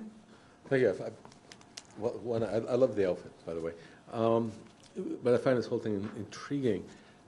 The guild, how does the guild determine that you're the town crier? Like, would I be able to go and apply and say, no, I'm the Newmarket Town Crier? Like, what criteria is used? Why, why are you laying claim to the crown? Um, I'm laying cra- claim to the crown because I've done my due diligence. I made application to the guild. I made presentation to the guild. I've represented the town successfully in the guild's opinion to the point where at the annual general meeting, um, they gave me the honor of appointing me to become a director of the guild already. Um, and I was told that's because no one in the history so far has been able to come in um, to the guild with an established persona. So, one, one, one follow-up question. Um, the, the, this guild, is it generally recognized by municipalities, or, or do municipalities say, you know, love your selection, but we have someone else in mind? Well, um, that's part of what you'll find out in the, in the letters that are attached. Um, But basically, yes, the municipalities in the province of Ontario have respected the guild. Okay. All right, thank you very much. Thank you. Um, Thank you. Uh, Can I have a motion, please, to receive this deputation? Okay. Councillor Hempen, all those in favor? And Any opposed? That is carried. Thank you. So we do have the recommendation before us. I- I'm reminding council that this is not one of our strategic priorities, and uh, and I'm also reminding council that we've got a very healthy agenda. Go ahead. And that uh, the recommendation that's being, that is being put forward by staff, um, I'll ask for a motion to adopt that recommendation, that, uh, that uh, staff organize the town crier competition at a future event. Could I have a motion, Councillor Vegh? I want to make a, a a different motion, so waiting for somebody to bring this forward, or I can bring it forward. It's forward. your option, it. you're in the Amend it. queue. Well, I'll bring it forward, but I'm going to ask for an amendment to it, a change. Okay, go ahead. Um, What I'd like to see is that, um, you know, you know, that we received the report, but that, that staff work closely with this guild, which I've never really heard of before, but it sounds quite interesting, to determine a process to select a town crier as a, um, because there seems to be some expertise out, out there in, in doing this. And and I'd hate for us to just kind of go off on our own and hold some sort of competition, um, you know, almost disrespecting uh, some some guild that I think would be able to inform us greatly on this. So basically, I'm asking the staff to, to work with the guild. work with the guild to pursue To find out, to determine a, a process for selecting a town crier. Okay, that seems appropriate. Probably could have uh, been as a direction, but if you'd like to have it as part of the motion. Well, it's just that we do have it as a, As a I motion, just want to be that's really good. clear here, because the motion doesn't say that. Okay, good. Is there a seconder? Counselor Twinney. Any further discussion? All those in favor? Oh, Counselor Hamel. I'm sorry, I- if, maybe I could ask a question, I didn't ask the question of the deputant, um, if council would allow, or if Mr. Mayor, you would allow. I just had a question regarding, if, um, would this prevent uh, Mr. Hart from uh, going out and crying and, and and representing the town of Newmarket? And him being recognized as the town crier for the moment? Mr. Or maybe Mr. through Clark? staff, or whoever could maybe give me some information on that. Mr. Clerk? Thank you, Mr. Mayor. What I received from um, Mr. Hart and from the um, Guild of Town Criers, it seems to imply that the municipality makes the appointment. I don't know the details about um, whether or not a competition is appropriate. That's something I'd have to follow up with. But it, it is essentially like a private business in, in, in the town's view. And so just like Mr. Webster in Markham or Mr. Hart here, we, the town really doesn't have any rules or jurisdiction around this. It isn't an official position. It does have some history, and there are some rules if you are a participant in this guild, which I'd have to learn a bit more about. But um, that's the extent of my knowledge And on it. how, how long would it be before th- we would have some type of report in front of us and a little bit more information? Um, uh, Probably, you know, 30 days, I would say. Okay, thank you very much. Counselor Kerwin? It was uh, very interesting to hear from Athol Hart, who I've known for many years. But you know, um, this competition, uh, it could be that when it happens, uh, Mr. Hart might be the only uh, uh, competitor, uh, because he is so well-known, uh, Mr. Mayor. And uh, I think we should, it's not on our front burner thing, but it would be delightful to have this resolved by, by the Christmas holidays. So uh, Mr. Hart is a resident of this town and has been. He's been honored almost everywhere. He was just honored recently at the Aga Khan Center in New York for his contributions to the town. He's gone to great expense to come here in the colors of the town of Newmarket. So uh, let's move on with this, and let's not get a lot of reports. Have, the put it out that if other town criers from the guild want to appear, that's wonderful. But if Mr. Hart is the only one who shows up, I think we should know who our town crier will be in the future, Mr. Mayor. Thank you. Thank you. So we have the motion before us. Uh, Counselor Kerwin, are you satisfied that you just take that as direction? I'm satisfied with the direction. Invite, invite uh, applications, yep. So this is Okay. coming back to us, is that what I'm understanding or? Uh, I think I Yeah, I think, yeah, I think it is coming back to us, that staff work with, to organize a competition and as A Counselor. process yeah, the- Process, the process was the motion, yeah, yep, yep, yep. Okay, Counselor Sponga, final comments, please? Yeah, uh, first and final comment, I just uh, actually wanted to uh, uh, confirm the fact that in order um, to be, uh, um, you have to be appointed by the municipality in order to be an Ontario uh, Guild of Town Criers, to participate in that. Good. All those in favor? Any opposed? That is carried, thank you. I have us at about 3 o'clock. Um, I, I do know that some members of council have some earlier commitments, and I know that we've got a fairly uh, significant uh, issue yet to be dealt with on some of the remaining items.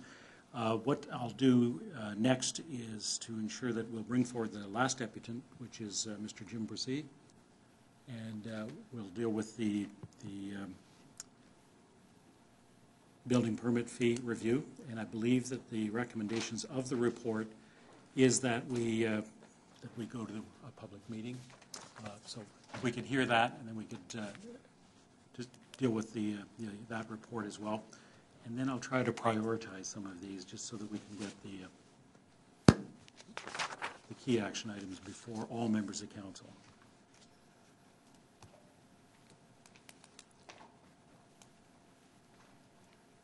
Okay.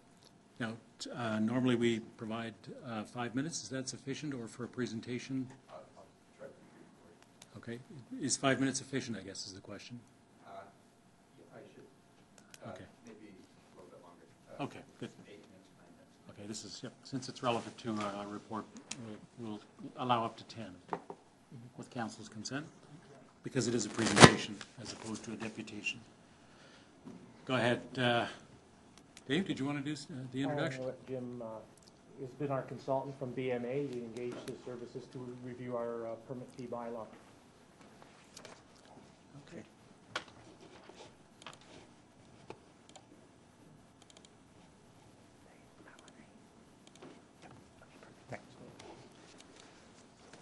Thank you, Worship, members of council. Uh, I- As I say, I'll try, I'll try to be brief as possible. Um, So in, in terms of uh, reviewing the uh, building permit fees, uh, our study objectives uh, was including uh, looking at the operational effectiveness, making sure it wasn't administratively burdensome. Uh, We wanted to make sure the fees were finan- financially sustainable. It is a- an enterprise-type operation, and all of the expenditures have to be met through the revenues of fees. I wanted to make sure they're fair and equitable. There's different classes of construction, and we wanted to make sure there was fairness and equity across the classes. Uh, Recovery full cost of service. Um, As I say, it is an enterprise-type operation. We want to make sure we we recovered all of the direct and indirect costs associated with the operations. Uh, Mitigating uh, potential risks. It is uh, a volatile economy, and uh, building permit revenues uh, will be down in certain years and and up in other years. So to mitigate the risk, we we have a a reserve. You do have a reserve that's established. I'll talk a little bit about that, and then make sure that the fees are competitive. Um, So we we looked at uh, making sure that the appropriateness of the the fee structure uh, was appropriate for every class of of uh, construction. Um, We looked at the- uh, costs of the building operations, and what we did is we undertook a process mapping exercise. And what I mean by that is we went through uh, every major type application and worked out an average cost of of of uh, processing the application, the permit and examination, and the ins- inspections of the application to come up with a cost. And we did it by each of the various classes. Um, So as I say, it's, it, uh, it, uh, from fairness and equity perspective, uh, we looked at it uh, in terms of the classes. And then we ultimately made the recommendations. So we looked at all of the background material that was available, the various fee reports and the policies that are in place. Um, So in, in terms of the, uh, the background information, uh, building permit fees, first of all, they haven't been updated since 2010. And uh, the last time there was a detailed review of the building permit fees, uh, such as what we've undertook this time, was about 10 years ago. And uh, what, one of the things, just to be cognizant of, the Building Code Act, uh, it does specify that the building permit fees not exceed the anticipated and reasonable cost to, to administer and enforce the uh, building code. Um, So this is just, uh, as I say, we looked at uh, the building activity. Uh, This is looking at the building activity over the last eight years. Uh, And you can see, as I said previously, it is, it is quite volatile. Um, 12, uh, 2012, 2013 were, were exceptionally strong years in terms of building activity in the town. And then 2014, it kind of tapered off. But it's more or less uh, in line with, uh, if you look at the average over the eight years. Um, So one of the things to, to smooth this volatility is what you have done is, in, an- in accordance with best practice, uh, establish a building permit uh, stabilization reserve fund. Uh, And then the benefits associated with that, that's the- to manage that risk of that volatility. Uh, In case there's an economic downturn, there's, there's funds that are available to transfer to the operations. Um, And, and the other thing too is, the last thing you want to do is, depending on the economic cycle, have building permit fees increase and, and decrease, uh, and, and be very volatile. So the stabilization reserve does just that, it stabilizes the fees. Uh, This is just the uh, uh, ending balance of the, uh, the reserve, and you can see the last couple of years, it's, it's uh, tracked a little bit of a downward trend. Um, Right now, you have a policy that uh, the reserves uh, have a rec, the, the recommended target range, the ceiling of the reserve, be about 100% of uh, building expenditures, annual building expenditures. And what we're recommending here is, we looked at other municipalities, we looked at sort of economic downturns, and an economic, economic downturn could last a number of years, as you can appreciate. Uh, So in line with other municipalities, we're recommending that, that, that target that uh, range be between 150 and 200 percent uh, of operating costs for stability purposes. Um, we, we found, when looking at the fees, there, you had a few anomalies uh, in comparison to your fees to other municipalities. One of the bigger ones is uh, in terms of uh, residential or building permits. There was a separate fee associated with uh, plumbing. And in uh, the other cases, when we looked at all of the other, uh, reviewed other fees of other municipalities, um, there is no separate uh, plumbing fee. Whatever the permit, permit, building permit fee is, it's encompassed within that fee. Um, And so as a result of that, uh, that recommend, we're recommending that uh, you be in line with the other municipalities and, and just have a building permit fee. And, and again, it's administrative, it's uh, easier to administer when there's just one fee.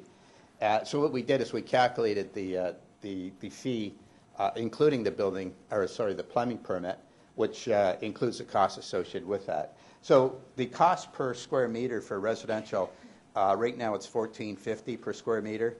We're recommending fourteen sixty-five, but as you, as I say, it inclu- includes the uh, plumbing fee. Uh, Previously, somebody uh, building a 2,500 square foot house uh, normally has about nine plumbing fixtures at least. They would be charged an additional uh, uh, 24.19 uh, per fixture. Um, So when you, when you compare what the current fee is to the uh, proposed fee, uh, in terms of residential building permits, there's actually a decrease. In this example, a decrease of almost $200. Um, The other thing, too, is when you get into the uh, ICI sector, you're charging the same whether it's a shell or a finish. And again, other municipalities um, uh, have a, a separate fee. Uh, There's a distinction between a shell and a finish. And what we did is we looked at the activities associated with uh, the inspection and, and uh, planned review associated with a uh, shell and a finish. And indeed, what we did find is that there is a, a difference in that fee, and it shouldn't be the same. Um, The other thing, too, is, is in terms of alterations, uh, what you're doing, it's, it's more costly, actually, to have an alteration in Newmarket from the other municipalities that we benchmarked against. And the reason for that is, is how the fee is calculated for alterations. It's based on a cost per thousand dollars of construction. Whereas when we looked at the, the other municipalities, uh, what they did is they calculated a per square meter cost. And, and I think that's a fairer, more equitable approach. Um, uh, based on a, a per square meter. Uh, and, and again, that's uh, based on the associated work that it's involved. It's, there's more of a correlation per square meter than cost of construction. Uh, so summary of findings uh, in terms of the, the ICI. Uh, one of the other things that we did find is, as I say, this processing map showed us the level of effort associated with each of the different types of reserves. And yet there's one, five uh, different categories uh, assembly, institutional, uh, uh, residential, industrial, and mercantile. When we, we did a, a review of the other municipalities, and what we found is that um, uh, we looked at the relationship between the building inspection and planned review of an ICI type building in comparison to the residential. And what we found in the other municipalities, um, the fees associated with the ICI were higher on a per square meter basis than the residential sector. And, and then when we looked at the, uh, as I say, the process mapping, we found the same thing, that the level of effort associated with the ICI sector is, is, uh, um, should, should be increased uh, relative to the fee that you're currently charging. Um, So just in, in terms of summary, what we did is, as I say, we did some benchmarking. Um, Right now, uh, for Group A, which is the assembly type uh, um, buildings, uh, right now in Newmarket, of all the, uh, we, we did comparisons to GTA municipalities and some of your surrounding municipalities. And you can see from this graph here, uh, you were the lowest. Um, And what we're recommending based on the fee, um, you would be uh, actually still quite low and lower than average. Uh, Group, uh, Group B institutional, the same thing, and, and again, it all uh, equates back to the level of effort associated with these. Right now, institutional, you're the lowest amongst the municipalities, and uh, we're recommending a fee increase, but again, uh, it's still a little bit below the average. Residential, uh, as I talked about earlier, residential fees, you're, you're, you're near the top of the, the group, the comparator group. Uh, And then as a result of the recommendations we're making in terms of the, uh, the plumbing, um, it brings you down a, a couple of notches, just slightly above the average. Uh, And then uh, um, commercial, Group D, uh, again, similar to what we saw in the Assembly. Uh, And then Group E, retail finished, again, you were the lowest, and and it's bringing it up, but lower than the average. Industrial finished, um, again, you're quite low, and it brings it up almost to about the average of the municipalities that we compared against. Um, So uh, uh, just to kind of summarize quickly, uh, a proposed update of the fee schedule has been included in the report. Uh, There were a couple of fees that identified, it's in Dave's report, that uh, new fees that you're currently not charging, but it's appropriate to charge. Um, And they're included in the report uh, recommendations. Um, In in terms of process, uh, the next steps in the process, to get the fees, if you, if you agree with the, the recommendations, uh, there is a, a public notification, uh, a public meeting required, uh, which requires 21 days notification. Uh, the other thing too is there's a, there's a, a charge, uh, internal charges. As I say, we looked at the indirect costs. There's um, a, a charge to the building departments called development application approval process. And, uh, and again, what basically that is, is, is essentially looking at other operating costs that are associated with uh, doing work for, on behalf of the, uh, the building area, building uh, operations. Um, and that, that uh, actually chargeback, if you like, hasn't been reviewed uh, for 10 years as well. And there's been a lot of changes in terms of organization, organizational structure. So we're recommending that that, that chargeback be reviewed in light of the, um, the, the current organization structure in the town. Uh, and that's the end of the presentation, Your Worship. Any questions, clarification? The- I'm a little confused with the, um, the shell and the finished building permits. Like, it's, so if someone wants to put up the shell, that is a certain fee, and then when that shell goes to finished, is there, there's an additional fee for that? And it reflects the different levels of work, is that correct? or- What we're trying to do is include them both in one. Right now, what happens is a tenant comes in after the shell is completed and applies for a permit to fit it out, and we base it on the valuation of the work. And those fees come in quite high, as you can see in the report. Our, our uh, idea is to make it a little more uniform and, and competitive with other municipalities. Okay, thank you. Councillor Sponga, questions? Uh, Yes. Uh, Quick question uh, through you, Mr. uh, Mayor, to, uh, I'm sorry, to Sol- um, the gentleman there. Um, The new fees that you have outlined, um, they uh, inclusive of um, uh, increased contribution to the reserve fund? Uh, The the fees that uh, we've outlined are uh, the fees that are necessary to, uh, to meet the, uh, the expenditures of the department. And there's no, nothing built into a transfer to reserve fund.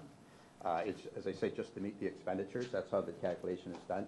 There is a quite a healthy reserve fund, so we don't see a need to, uh, to have that uh, contribution built in. But of course, what ends up happening is if there's any surplus or deficit in the operations, they come to or from the reserve. So how, how would that, um, um, you were saying that right now, uh, the town of Market has a practice of hundred percent of an operating year for the building department, um, uh, as a target for the reserve, we would like to see that increase to 150, 200%. How do you propose that? Uh, It it would, uh, if, uh, the the increases would, would uh, result from any surpluses in the operation. So any surplus in the operation would be transferred to the reserve. Thank you. Any further questions? Motion then to receive the presentation. Regional Councillor, Councillor Broome-Plumley, all those in favor? That is carried. Let's bring forward item number 12 here? 11. Okay, moved by Regional Councillor, seconded by Councillor Vegh. Recommendations here are as requested, is that we go to a public meeting. Yes. Any uh, questions, Regional Councillor, any questions as the mover? Councillor Vegh is the seconder. Councillor Twinney. Uh, Thank you. Uh, I know we're going to a public meeting, so that's, I mean, that's our next step. But just a quick question regarding the rates. And when we go to a public meeting, the fee schedule that we have on page, um, the proposed fee schedule, will, do we have, um, we included in the report, there wasn't like the existing one now, to have a comparison. Will that be part of the public meeting too, so people know the differences? So I have some questions on Yes, most some of certainly. the certain charges. I don't know whether they were there in place or before, Yeah, no, we can bring that up at the public meeting. There's Okay. still one, one fee that we're working on, and that's the on-site sewage inspection program. Okay. And we're working with the northern six municipalities on coming up with a, um, a common program as well as fee structures that are reasonable uh, in comparison to the other municipalities. Okay, yeah, that just, I think that'd be helpful to the public as well to have that comparison as well. Great, thank you. Okay, any further questions? All those in favor? Any opposed? That is carried. Um, I'm wondering, given that we've got some fairly significant further items to discuss, uh, we've pulled item number 17, which is the Strategic Initiatives uh, Legislative Services Report, the Policy Authority. I'm wondering if we might defer that to the next committee of the whole, in order that we can get to the other issues, okay? Okay, uh, any discussion? I don't think it's time sensitive, and so we might, uh, all those in favor then? Good, Thank you. Next item is item number 18, Patty McCullough. That's been pulled, and I think following that, maybe we could take a break and then, uh, then head into the discussions around the action items uh, 25 and 26 in the closed session. Uh, Your, your motion uh, comes in at, what's, item number 21? Is it 21? Where is it? Yep. Yep, it does come in under, under an action item. We can deal with that after the break, if that's okay, Counselor? Okay, all righty. Sure. After the break? Yeah. Yeah, we, I'd, I'd like to have substantive discussion, or time for some substantive discussion in the closed session, because it is a, a property matter. And then, yeah, we can deal with that afterwards. Um, We'll still have quorum, I- I'm, I'm certain of, uh, so we could deal with the other items. Okay? So, uh, let's do with, deal with item number 18, Patty McCullough Way. I believe that can be dealt with fairly expediently. Then we'll take a five-minute break, and then we'll come back take a look at how we prioritize the balance in the agenda. Counselor Bisanz? Okay, thank you, and I, and I do hope that we can deal with this expediently. Um, I I guess I should make a motion first, Mr. Mhm. Mayor, that, um, that council implement no parking restrictions on the west side of Patty McCullough Way from the property line between um, house number 88 and number 90 northward to Woodspring Avenue. And can we have a seconder for that motion? Counselor Sponga. Okay, speaking to the motion, Counselor Bisanz? Um, So essentially, this was, was uh, raised at the, or on the agenda at the last meeting, and I asked it to be deferred because um, in keeping with policy, uh, the staff had not recommended a change in the bylaw because having um, sent around a survey to the immediate neighbors that would be impacted uh, by this, there was no response. So staff advised that they could not therefore recommend a change to the bylaw. So as a result of that, given I, I knew that there were a number of residents who were actually in favor of, of changing and putting in the no parking restriction, I took it upon myself to go door to door and um, uh, contacted all of the uh, residents that would be affected by this. Out of the six homes, I got four responses in favor of changing the bylaw to uh, restrict it to no parking, and two that, that just did not respond. So based on that, there, there is um, support for making that a no parking. And essentially, the, the reason is that um, um, there is no parking from the corner to um, uh, the first house anyway, but it's in front of the second house in that the distance between curb cut to curb cut between the driveways is such that it's very difficult to park a car without overhanging onto the resident's driveway. And a number of times he's had somebody park there and, you know, two or three feet covering his driveway and making it hazardous for him to try and back out of the driveway and so forth. So the, uh, the other residents uh, were uh, in favor of having the bylaw changed, so I would just like to, to request that we move forward with that. Okay, speaking. I think Councillor Sponga seconded it. Did you want to speak to that, Counselor Sponga? Uh, the councillor makes a compelling case. Okay, any further discussion? All those in favor? Any opposed? And that is carried. Thank you. Um, I'm looking at item number 20, which also is a policy issue. I'm wondering if maybe we consider moving that forward just so we can get to our, our in, in-camera items. Mr. Clerk, is this, this is not time sensitive? Item number 20? No, it's not, Mr. Mayor, but I just want to note that there was a no, uh, public notice given. um, So if it's falling into the next uh, committee of the whole cycle, then we'll, we're just to let the public know, we'd have to change the notice for that. Okay. So, All right. Motion to defer. Motion to defer? Okay. Seconder, Counselor Vegh. All those in favor? That is carried, thank you. So, okay.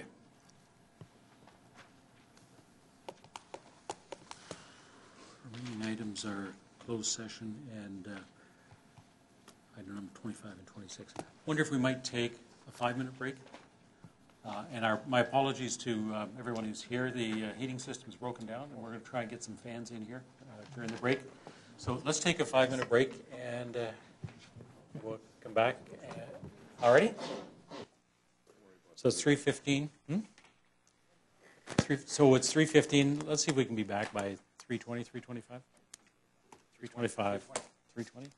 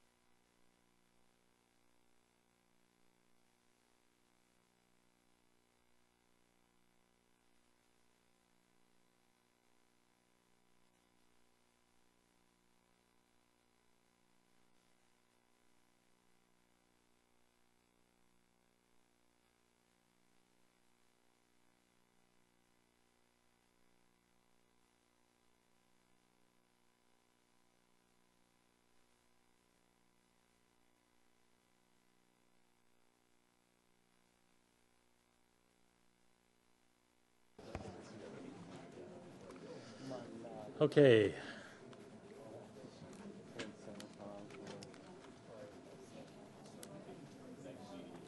I'll call this meeting to order one more time.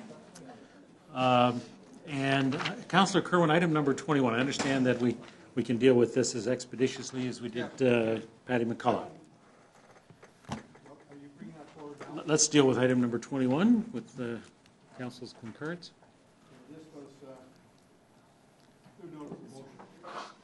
That's, that staff be directed to report back within 120 days on the potential of demolishing the old fire hall at 140 Main Street South with the intent to repurpose it as a parking lot that would, would be in keeping with the downtown area, and also bring back any other options for parking enhancement in the downtown core, Mr. Mayor. Okay. And in saying that, just with regard to the, the, uh, the fire hall, it has been vacant since the end of 2010, and by 2015, we will have spent on the insurance 3,900, the RF 27,000, utilities No. 21,000. Before we, before we debate, maybe we should get a seconder for this motion. Oh, I'm sorry, Okay. Mr. Mayor. Seconder, regional councillor. Carry on, councillor, is the mover. I won't, I won't go into it, Mr. Mayor. Right now, I'll debate it when it comes back, but, uh, you know, we've dealt with parking in the downtown area for 100 years, and we should be proud of the downtown core being such a success story. Unbelievable. The Riverwalk Commons, the number of new restaurants on the main street. Um, We've got to eliminate some of the friction between some of the owners and some of the churches. And uh, with uh, Regional Councillor John Taylor's uh, addition to, to my recommendation, I think we can come up with some solutions to uh, solve some of the parking issues we have in the downtown core. Great. Thank you. Regional councillor is the seconder. Yeah, uh, I'm happy to support the motion. Uh, I, I think that if, if staff can bring forward any existing or new uh, uh, options for enhancing the parking in the downtown that could be considered along with this option, then we're looking at it in context with other ideas and sort of, then we can analyze it and look at what makes sense, what doesn't make sense. But I think we need that full picture. Uh, Thank you, Councillor Kerwin, for, for including all that, because as you know, there's other people out there with other concerns, and we can address everything at one time, which will be very helpful. Thank you. Any further discussion? Councillor Sponga. Um, I'd like to uh, keep it brief and say absolutely. Okay, thank you. Any further discussion? All those in favor? Any opposed? None opposed, and that is carried. Deals with item number 21. Before we, before we go forward with item number 25 and 26, the, um, what I'd like to do is to uh, entertain a motion now to go into a closed session. The closed session deals with two items. Number one is uh, closed session report 2015-17, uh, and that is uh, land exchange. And the second report is with respect to the Hollingsworth Arena and a proposed financial officer. Can I, can I have a motion to go into closed session? Regional Councillor, seconded by Councillor Vegh. All those in favor? And that is carried. So we'll clear the audience, please. Because it's voting day that day, Okay. so we bumped it to Tuesday. October 20th.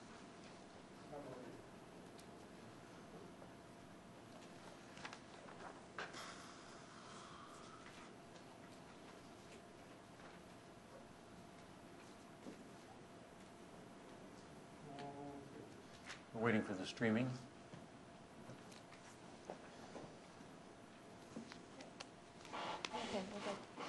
We're ready to go. Okay, we're back into uh, an open session.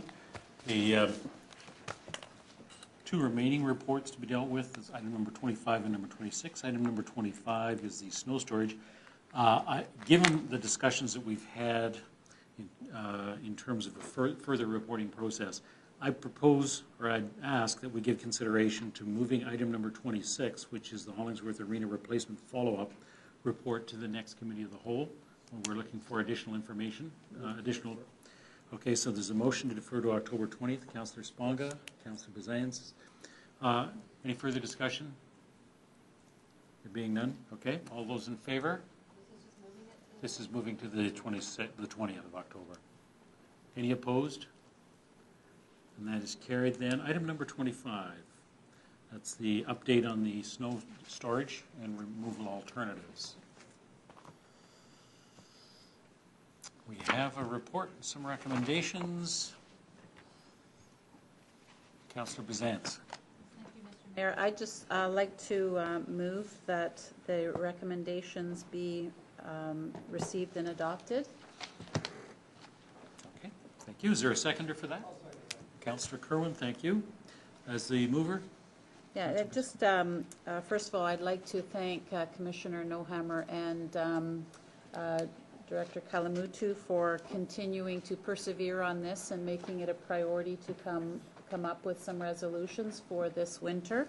Um, But I did have a question with respect to the option with the private landowner, um, because it seems that that's, that's the more economical solution, and um, also one that, that um, uh, we'll be able to implement hopefully within, within this winter.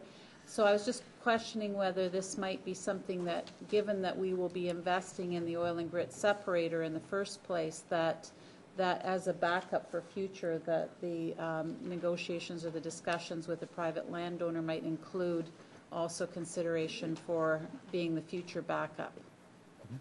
Mr. Noehammer? Yes, through you, Mr. Mayor. Um, s- Certainly that uh, would be on our minds uh, in light of the uh, permanent site. Uh, We we hope that it will be ready for next winter, but in the event that it, that it isn't, uh, that's something that we would like to retain the use of this site or or some other private site so that we are not in a position of having to go back to the Ray Twinney complex. Um, And you know, I'll- let uh, the director speak further to it, but uh, seems that the indication we're being given by the private landowner is uh, that that doesn't seem to be an issue as long as they don't uh, fully occupy their space with a new tenant.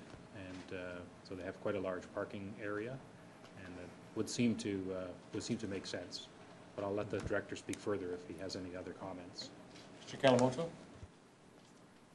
Mr. Mayor, um, again, uh, as the report says and as the Commissioner noted, uh, the discussions are looking positive. It is a very minor, uh, small area compared to the large site, so we definitely could pursue uh, the use of those sites uh, as an emergency backup, just in case the permanent uh, solution does not f- go through for uh, the the 2016-17 season.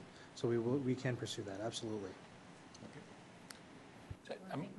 Yeah, thank you, because I think that, uh, you know, we, we wouldn't want to have to go back to, to Ray Twinney in 16, 17 because of, uh, you know, hopefully it won't happen, but if the uh, other site, what, the permanent site wasn't completed yet.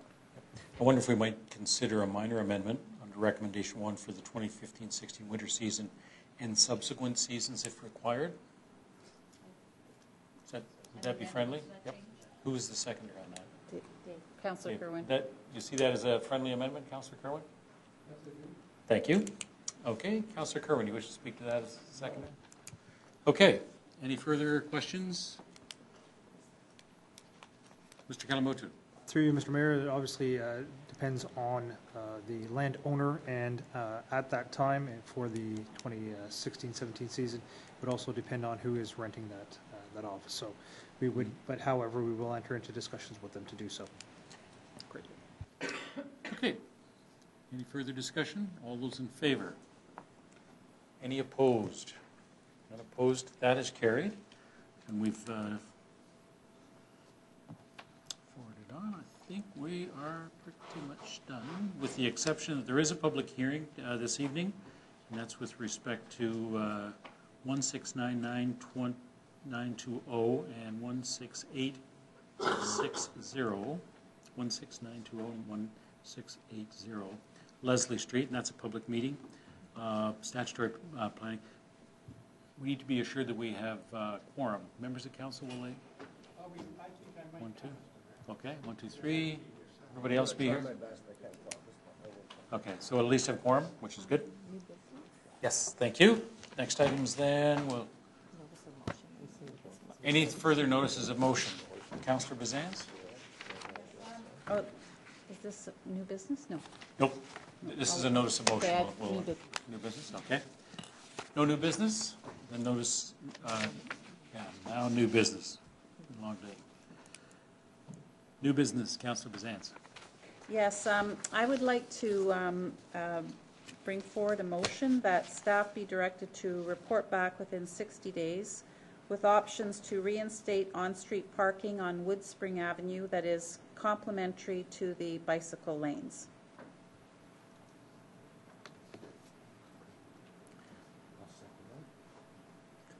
Okay, seconded by Councillor Sponga. Discussion, Councillor Bisanz. Yes, thank you.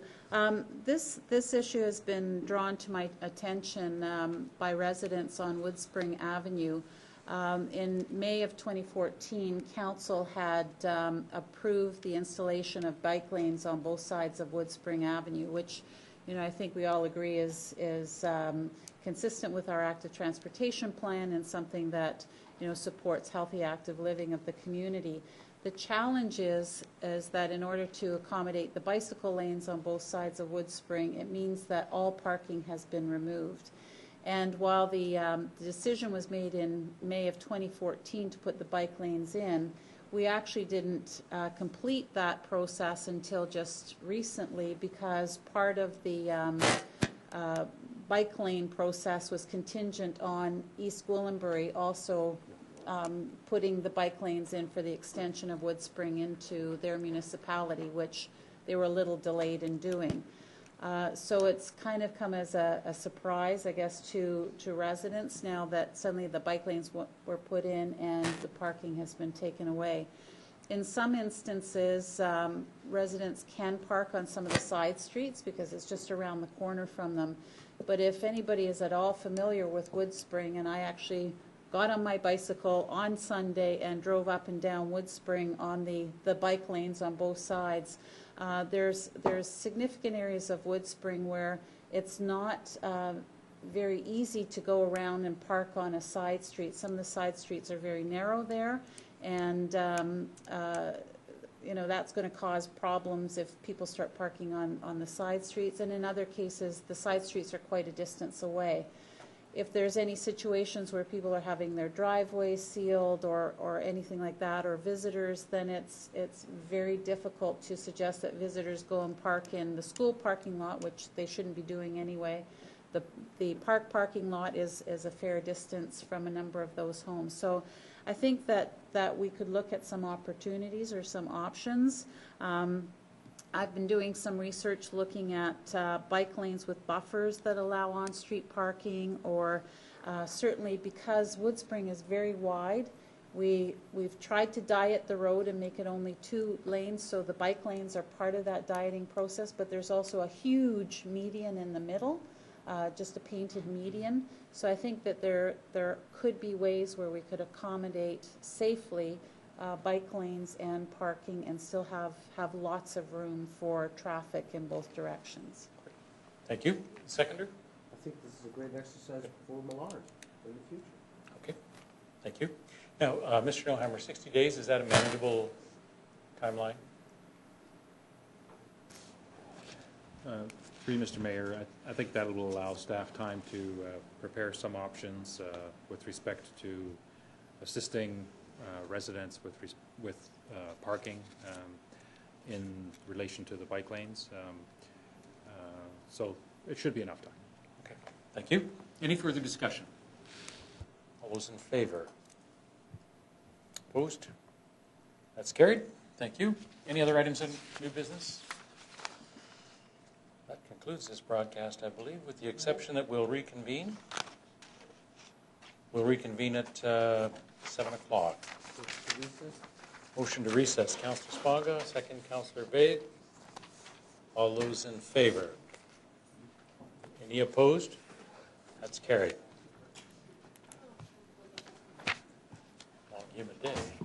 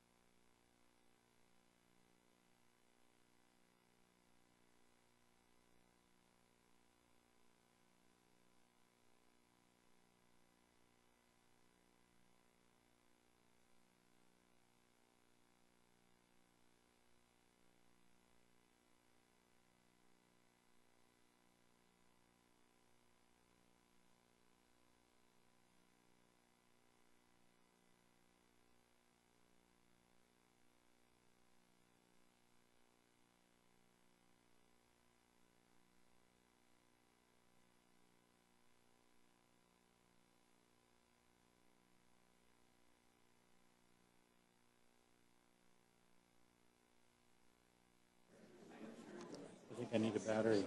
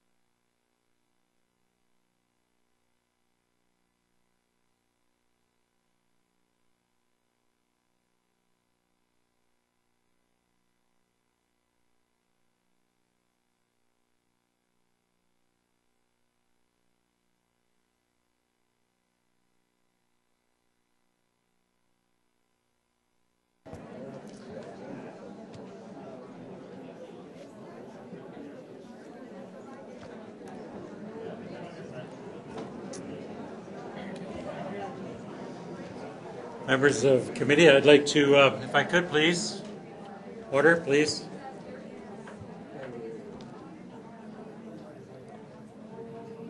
Order. I'd like to call this uh, committee meeting to order. Um, The item that we have uh, before us is a uh, statutory public meeting, and I'll ask the clerk to uh, read the guidelines for the, the meeting and the purpose of the meeting, and the steps forward will be covered as we go forward. Madam Clerk? Ladies and gentlemen, welcome to this Committee of the Whole meeting. The Planning Act requires the town to hold at least one public meeting on any proposed Town of Newmarket official plan amendment, zoning bylaw amendment, and draft plan of subdivision application.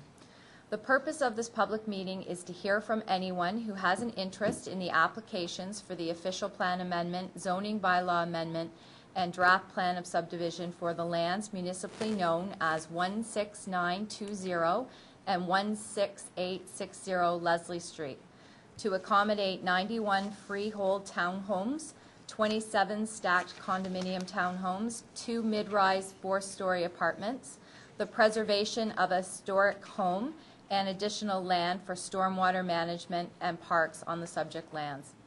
The Committee of the Whole will not be making a decision regarding the proposed applications tonight, but will refer all written and verbal comments to planning staff to consider in a report that will be brought forward to a future Committee of the Whole or council meeting. If you wish to be notified of subsequent meetings, or if you are making a presentation today, please complete a form with your name and address and submit it to the clerk's staff. Please note that in accordance with the Planning Act, the Ontario Municipal Board may dismiss an appeal without holding a hearing if the appellant failed to make either oral submissions at the public meeting or provide written submissions to council prior to adoption. We thank you for your participation and interest in this meeting tonight. Good, thank you very much. Uh, First thing we'll do is we'll hear a presentation from the proponents. We permit up to 10 minutes. You could go forward then, Mr. Rogers. Thank you very much, uh, Mr. Mayor, uh, members of council and senior staff. Um, Can everyone hear me okay? No? It's, uh, If you can move the, the microphone piece back a little closer, does that work? Is that better? Yes. Okay. Um, My name is Brad Rogers, and uh, I'm with Groundswell Urban Planners, and I'm here on behalf of uh, Forest Green Homes. Um, I have with me uh, Gilles Bisner, who is the Director of Development for Forest Green Homes. Uh, Gilles, uh, since we submitted this application in December of 2012, has had uh, numerous uh, meetings with the surrounding residents, and um, uh, he's here to uh, help me this evening. Um, I think as members of council are aware, I, I do know the area very well. I was the planner for the Bogart development just south of this project, both the townhouse development and the high-rise. And we were also the planner for uh, Amica, just uh, north of this uh, development, and also for the Volkswagen dealership across the street. So uh, pleased to um, uh, answer any questions that the residents uh, may have tonight. I'd like to thank the residents. Obviously, there's a lot of people here. There's three um, condominium corporations surrounding the development, and uh, I believe the, uh, a member or several members of all three condo corps are here. I know that Gilles has met with them over the past, um, and uh, we're interested to hear what they have to say about the proposed development. Um, If I could just go to the next slide, Gilles. There we go. Um, So this is the, uh, the site uh, context. Um, I will, I will use this pointer here, Mr. Mayor, is that correct? Or would you like me to use the, No, if you, my if you pointer? use the, if you use the the mouse. The mouse? Then it'll project here, and then it'll be seen Okay. up on the screen as well. Um, Thank you. So the, the, uh, the site is um, quite a large site, it's 40 acres. Um, It, um, uh, it's bordered, um, it has frontage uh, onto uh, Leslie Street. Uh, Can't find my mouse here, there we go. On Leslie Street right here. Uh, This is Mulock, so it's just north of Mulock, and this is Gorham Street. So it's between Gorham and uh, Mulock on the west side of Leslie Street. Um, the uh, reflections on Bogart Pond uh, development is located uh, just south of the development. Um, There's also the townhomes that I was referring to. If memory serves me correct, uh, I think there's 113 townhomes here. Um, And then there uh, uh, is the uh, Doak Condominium um, Board, which is, uh, is is in this area. And there's also the Leslie Glenn uh, Condominium Board, which is in, was it the other way around? I'm sorry. The other way around. So uh, I would like to point out with respect to the site that there is um, an 11-acre woodlock, woodlot that um, is at the west boundary of the property. It's defined on our draft plan as Block N. Um, And uh, uh, these lands are currently owned by the cemetery uh, board, and they're defined on our draft plan as retained lands. Uh, Forest Green Homes have had discussions with the cemetery uh, board and corporation to purchase these lands. Um, And uh, if we do purchase these lands, uh, we will have uh, ongoing discussions with both council and staff. So I just wanted to make that clear. This is the draft plan of subdivision um, that we were just referring to. Um, And there's several uh, colors here. I just wanted to uh, point out um, the various uh, types of uh, land uses that are being proposed. Um, The um, yellow property here, here, and on this side, uh, there is 91 freehold townhomes. And um, in the area right here, there's a different type of a land use, and it's um, 27 stacked townhouses. Um, There are 78 condominium townhouses in the light orange located at the north end of the property. That's in here. And those same condo townhouses are located in this area, which I'll refer to um, as the Elliott property area. Uh, This, this property was purchased by Forest Green Homes, and it was added to the development application. Um, There are two mid-rise apartment blocks. Um, uh, In, there's four buildings in red. There's two here and two here. Um, And um, there is an existing telecommunications tower that is right here. That lease uh, comes due in 2017, and the telecommunications company has an option to extend that for another 10 years. So I just wanted to make that clear. There is a proposed buffer block, which is in here. And the 11-acre woodland that I was referring to is in this green area right here. We have a stormwater management pond located in, in this area of the property.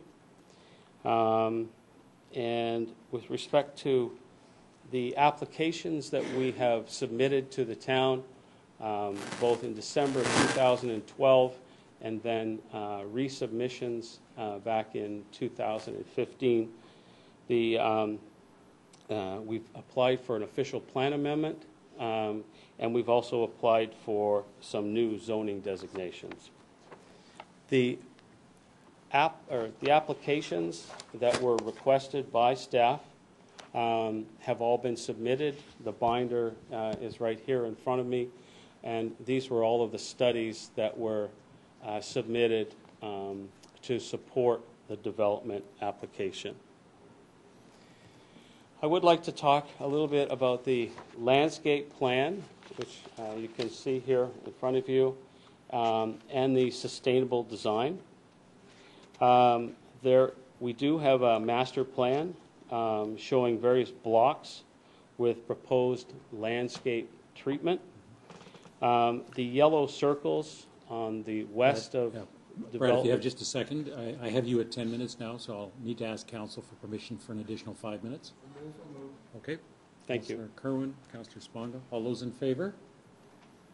That is carried. Thank you. Carry on. The, uh, the uh, yellow circles uh, west of the development, this is a uh, park block in this area right here. And um, this denotes the uh, park amenities such as a seating area, uh, a shade structure, and a children's play area. Um, The, uh, we also like to note that the wood lot uh, north of um, the home here, the Elliott home or the Bogart home, and that's the wood lot right here, um, is, uh, is being maintained and protect, and protected.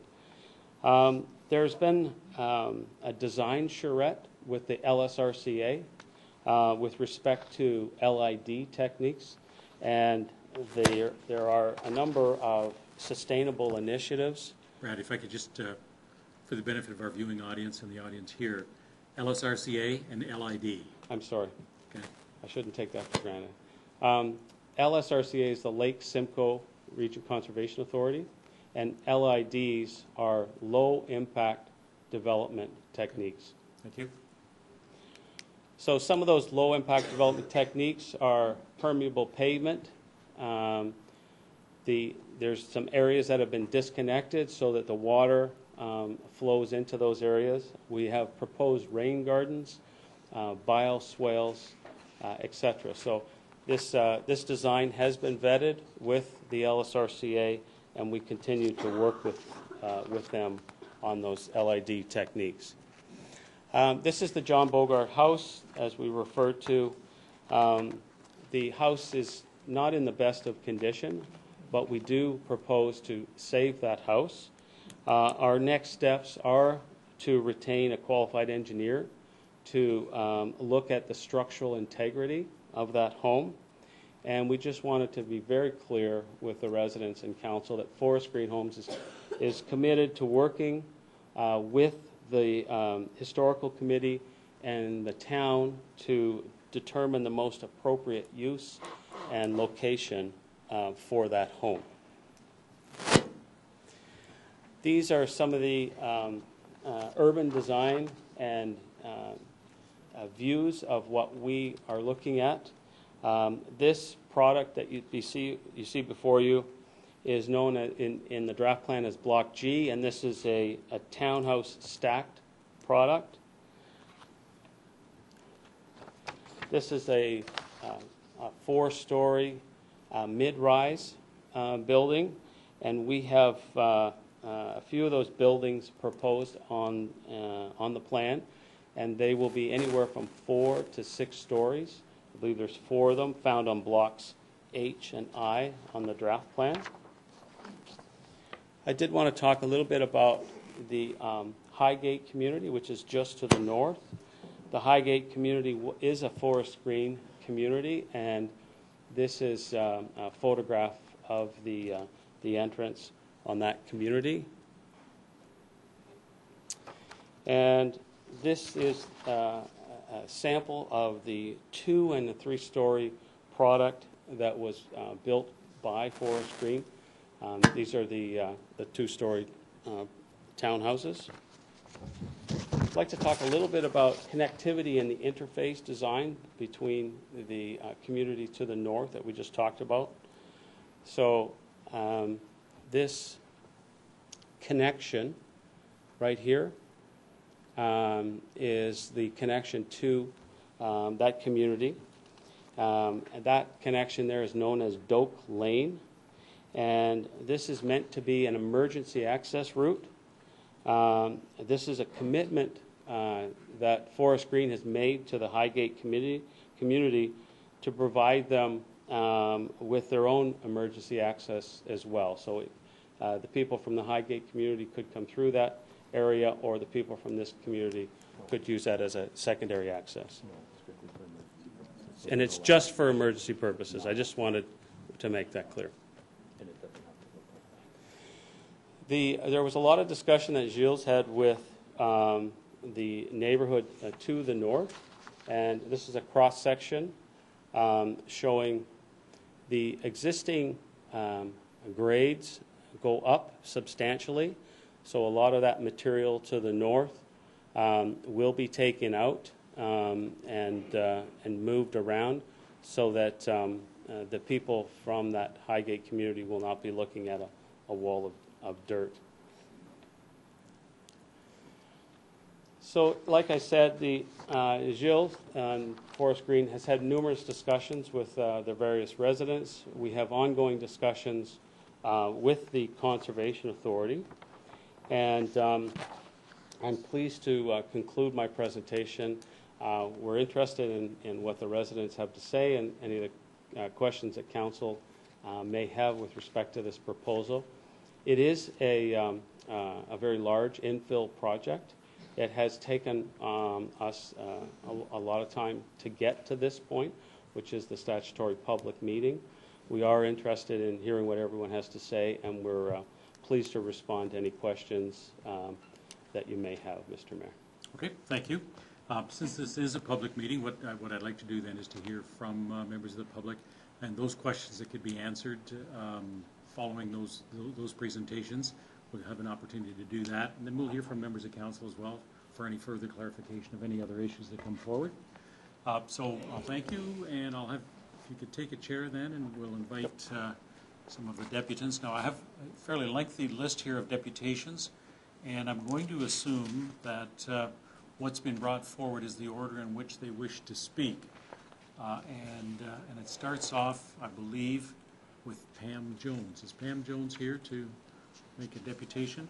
As as you're aware, we permit up to five minutes for deputants, so if you'd like to come forward, please. Give us your name and your address and, uh, and your, uh, Pam Jones, 900 Bogart Mill Trail. mhm. is this a a joint deputation? or- I'm the official clicker. Oh, I see. Okay, okay, thank you. Thank you.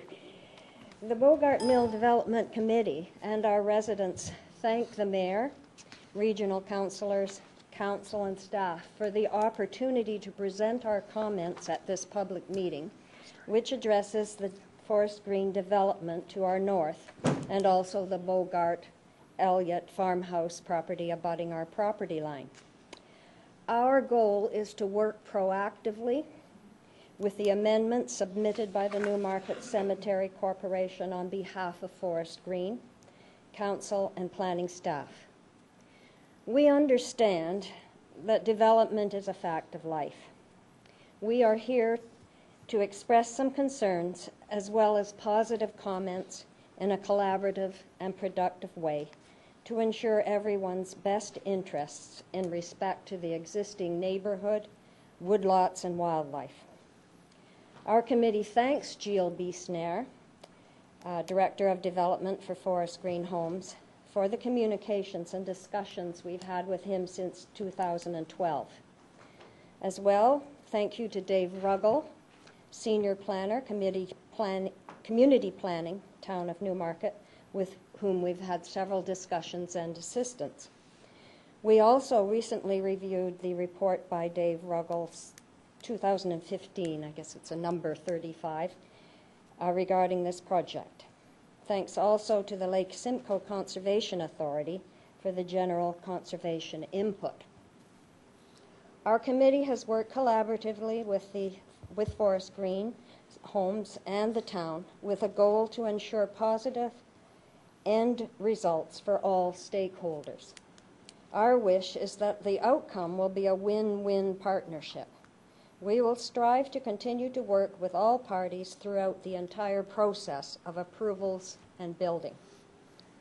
To be respectful of time and eliminate duplication of questions and comments, we asked the Bogart Committee speakers to present in approximately five to seven minute segments on various development topics.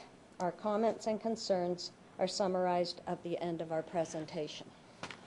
Great, thank you. And um, our bylaw does provide for five minutes per deputation. Okay.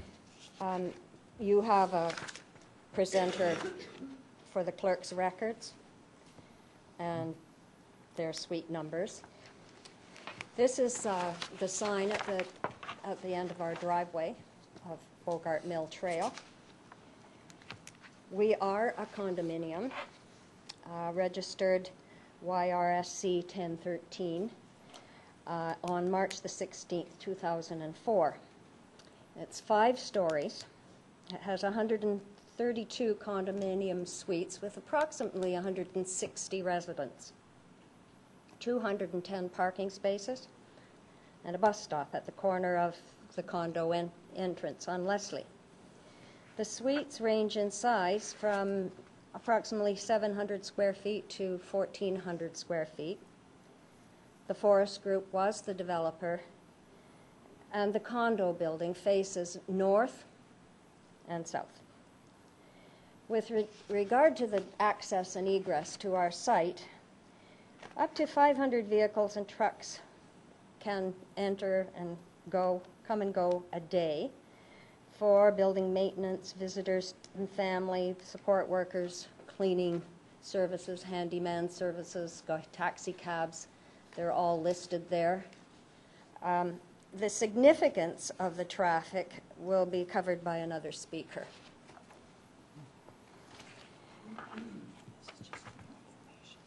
Yeah. Um, Our committee, uh, the Bogart Development Committee, was formed in 2012 and includes a representative from the condominium board of directors, Harold Davidson, and interested Bogart condo homeowners. Do you want the committee to stand? Yeah, sure. Yeah. The committee, as listed there, are uh, not all here, but many of them are here, and I'll ask them to stand up, please.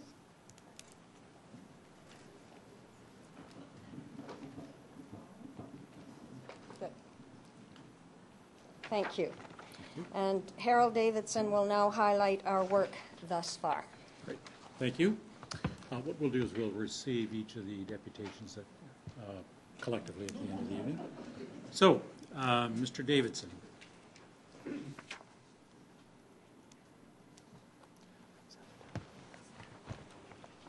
My name is Harold Davidson. I'm in Suite 218 at uh, 900 Bogart Mill Trail. I would like to speak just briefly about uh, some of the highlights of the uh, minutes of our meetings that have uh, gone on since uh, 2012. Uh, Our committee has kept in touch with Gilles Bisnaire from Forest Green Homes, read the various versions of the site plan, and held, held several meetings since 2012. Gilles has done an excellent job uh, on PR. He has been very forthcoming with information and free with his time. Dave Ruggles, senior planner for the town, has also been very helpful in providing the committee with requested relevant town planning information. Condo residence meetings. We've had four meetings in the, uh, since two- 2012. Um, uh, to review the site plans and amendments and so on, um, with an estimated 110 to 115 residents uh, attending each general condo owners uh, information meeting. Gilles has also made himself available to uh, walk the site in 2012 along with uh, members of the committee. In 2012, uh, 115 out of 132 owners uh, questionnaires were completed. Over 95% of the residents requested the protection and preservation of the treed hill and trees on the, on the property line. Also, the preservation of the woodlot west of uh, Bogart Farmhouse Townhomes and the buffer at the entrance to Bogart Mill Trail. Traffic and safety continues to be a big, big concern, and Bob Arbuckle will speak to that point in just a few moments. In November of 2012, uh, committee sent a letter to Richard Nethery, Director of Planning and Building Services, with copies to Councillor David Kerwin, the mayor, members of council, and Gilles Bisnaire. Read the buffer, treed hills area, fencing, trails, zoning, densing, uh, density, recommendations, etc.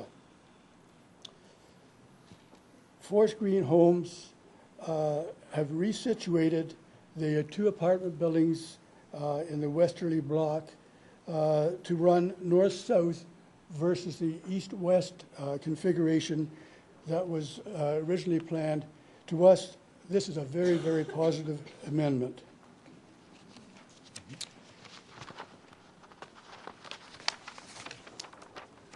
However, we have had one preliminary disappointment. The previous Drysdale Farm trees on the cemetery lands. As discussed with Forest Green Homes and recorded in the Bogart Committee minutes of April 2012, and in a letter to Richard Nethery, Director of Planning, and carbon copies to the mayor, council, staff, and Gilles Bisnaire, dated November 29, 2012, Forest Green Homes stated that the coniferous trees situated on the cemetery lands, the the Drysdale farm trees, would be relocated, bare rooted, to the buffer area on the hill between the development site and our condo building. A condition of the Drysdale Farms was that the trees could not be sold, but Forest Green Homes stated that the trees would be relocated to the hill when the Forest Green Homes Road was built and the Forest Greens uh, equipment was on the development site. And uh, Ward Councillor Dave Kerwin suggested at one time that possibly even the stewardship rangers may help move some trees. Please note that the following months, December 2012, the trees were bulldozed without being re- relocated and transplanted to the Hill, which was in contradiction to the committee agreement with Forest uh, Green Homes. Thank you very much, Mr. Mayor and Council. Thank you. Next uh, presenter then is uh, Diane Humanek. Thank you, Mr. Mayor and uh, members of council. Uh, We really appreciate the opportunity to have this forum to speak to you tonight. And our committee has been very active with the town and asked the residents, uh, the town has asked residents to be green, be healthy, and be involved and feed a tree, which is exactly what our committee's been doing. Our actions have engaged public participation of our homeowners, and we ask council and staff to continue with the green philosophy and practices that you have to protect our heritage and the significant woodlots and wildlife in this uh, infill project as planners work on this site now and in the long-term future. We were pleased to see that your vision and mission refers to a well-balanced green and open spaces and parks and preserving Newmarket's natural historical heritage, which our committee truly applauds. The question is, the committee has concern with the proposed rezoning at this time of the woodlots from environmental protection open space OSEP Zone 2, open space 1 S-1 zone, and asks that you retain the existing OSEP zone on the woodlot to ensure its continued preservation and conservation. Therefore, the only permitted use under these circumstances would be the conservation and the uses of trails. If it is kept as the OS1, as we understand, this zone permits other uses, such as community centers and recreation facilities, to be constructed.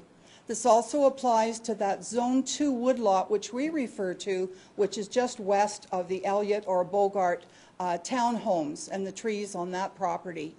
So it may be a little premature to go for the initial zoning that you're talking about, and you may want to look at, or we hope that you will look at, a more restrictive zoning. And we ask for the protection of these significant lands uh, to include maybe even a restricted covenant or deed for further sale or usages other than designated woodlots uh, that would include um, recreation facilities. This would allow uh, the natural woodlands to continue to function in the way they have for hundreds of years. Our committee asks that, um, that um, we continue to plan and respect as, as a group the existing residential areas, protecting the woodlands, partnering uh, through an environmental approach in protecting these lands. And we're really pleased to see the Forest Green Homes corporate culture, and that is stated as a green builder with an environmental conscience, which is of, in, which is of utmost importance for a safe and future environment. And we support that, um, that culture that Forest Green has.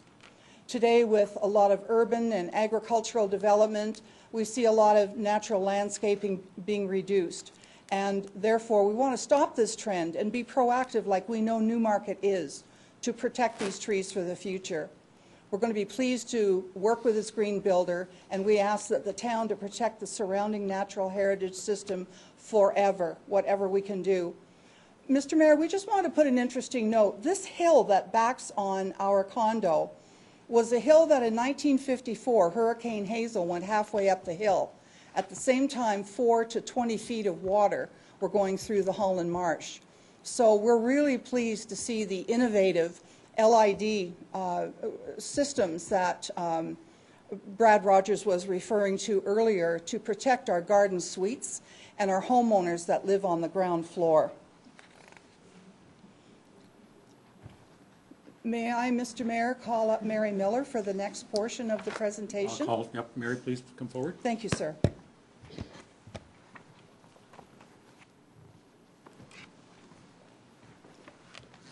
Good evening, Mr. Mayor.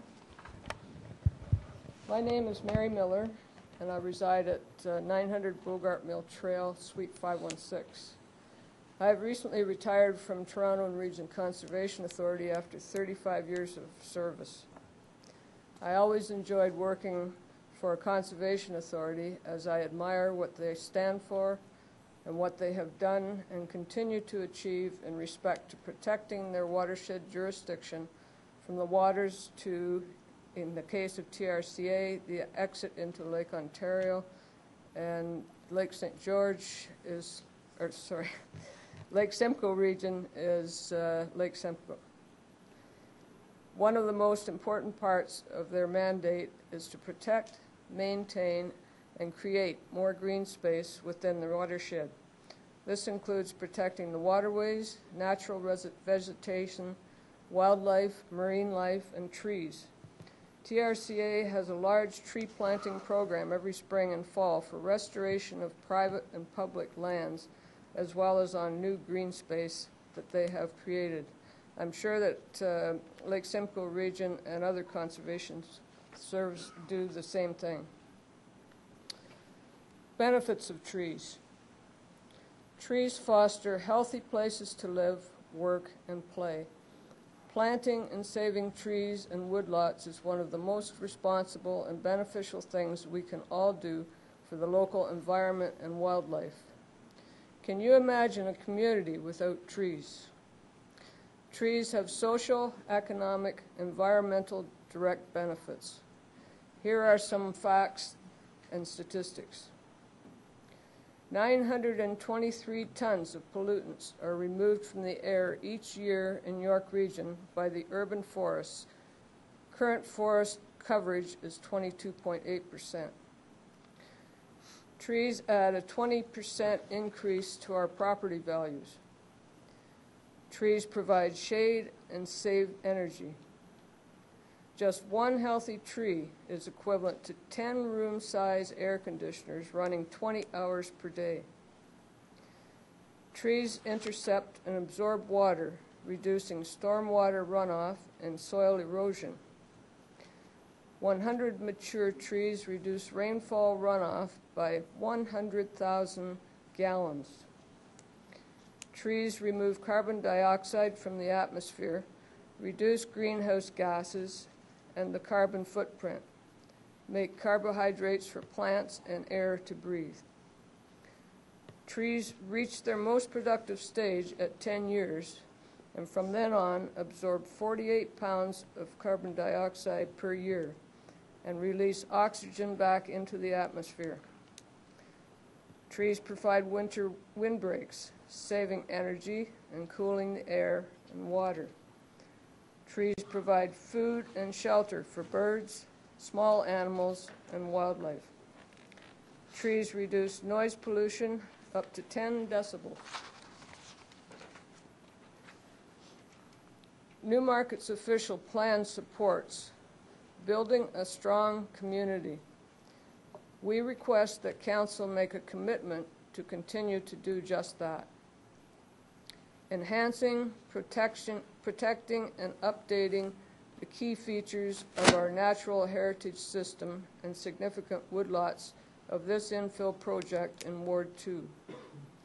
We must maintain biological diversity, avoid habitat fragmentation, promote and ensure protection of corridors and linkages, maintain watershed balance, establish three buffer zone areas as defined in this presentation. Through an OPA, ZBA, specific change, and a restricted covenant, protect the future of these lands. Integrate these above actions into the Forest Green Homes Plan. The town's official plan refers to no net loss of trees in the area of development through the preservation and protection of existing trees and woodlots. If some replacement of trees are required, that they will be the same size and caliber. Thank you, Mr. Mayor. Thank you. And the next presentation, I believe, is Barbara Middleton. Barbara, are you?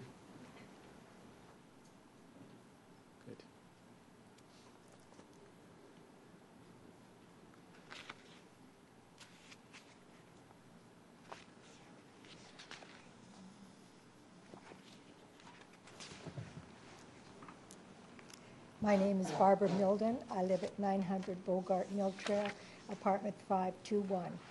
My husband and I have lived at 900 Bogart Mill Trail for the past 12 years. We uh, live, Could we move the microphone just a little bit? Oh, I'm- sorry. I'm not hearing you very well. I'm sorry. okay. We've lived there for 12 years. We Thank you. live on the fifth floor, and our windows face north, west, and south. And we have a panoramic view of the, the- of the treetops and the sunsets. We know that Ward, Ward Two Councillor Dave Kerwin has often been on site, but wonder if other members of council have had an opportunity to visit us at Bogart Mill Trail. For members of council and staff who may not be familiar with our Bogart Mill Trail site and the proximity of the northerly development and easterly townhome development, here are a few pictures to demonstrate what our homes back onto from the north, south, east, and west. Uh, Here is a north side balcony looking out to the top of the hill of the Forest Green House development. We anticipate uh, that the break between the, the uh, two uh, Forest Green development buildings slated for the top of this hill, hopefully, will provide a break for our residents to see a sky area between the buildings. Look, this is looking north at the sky, the top of the hill. And this is one of my lovely sunsets. And another. The view from the fourth floor looking west on our condo property.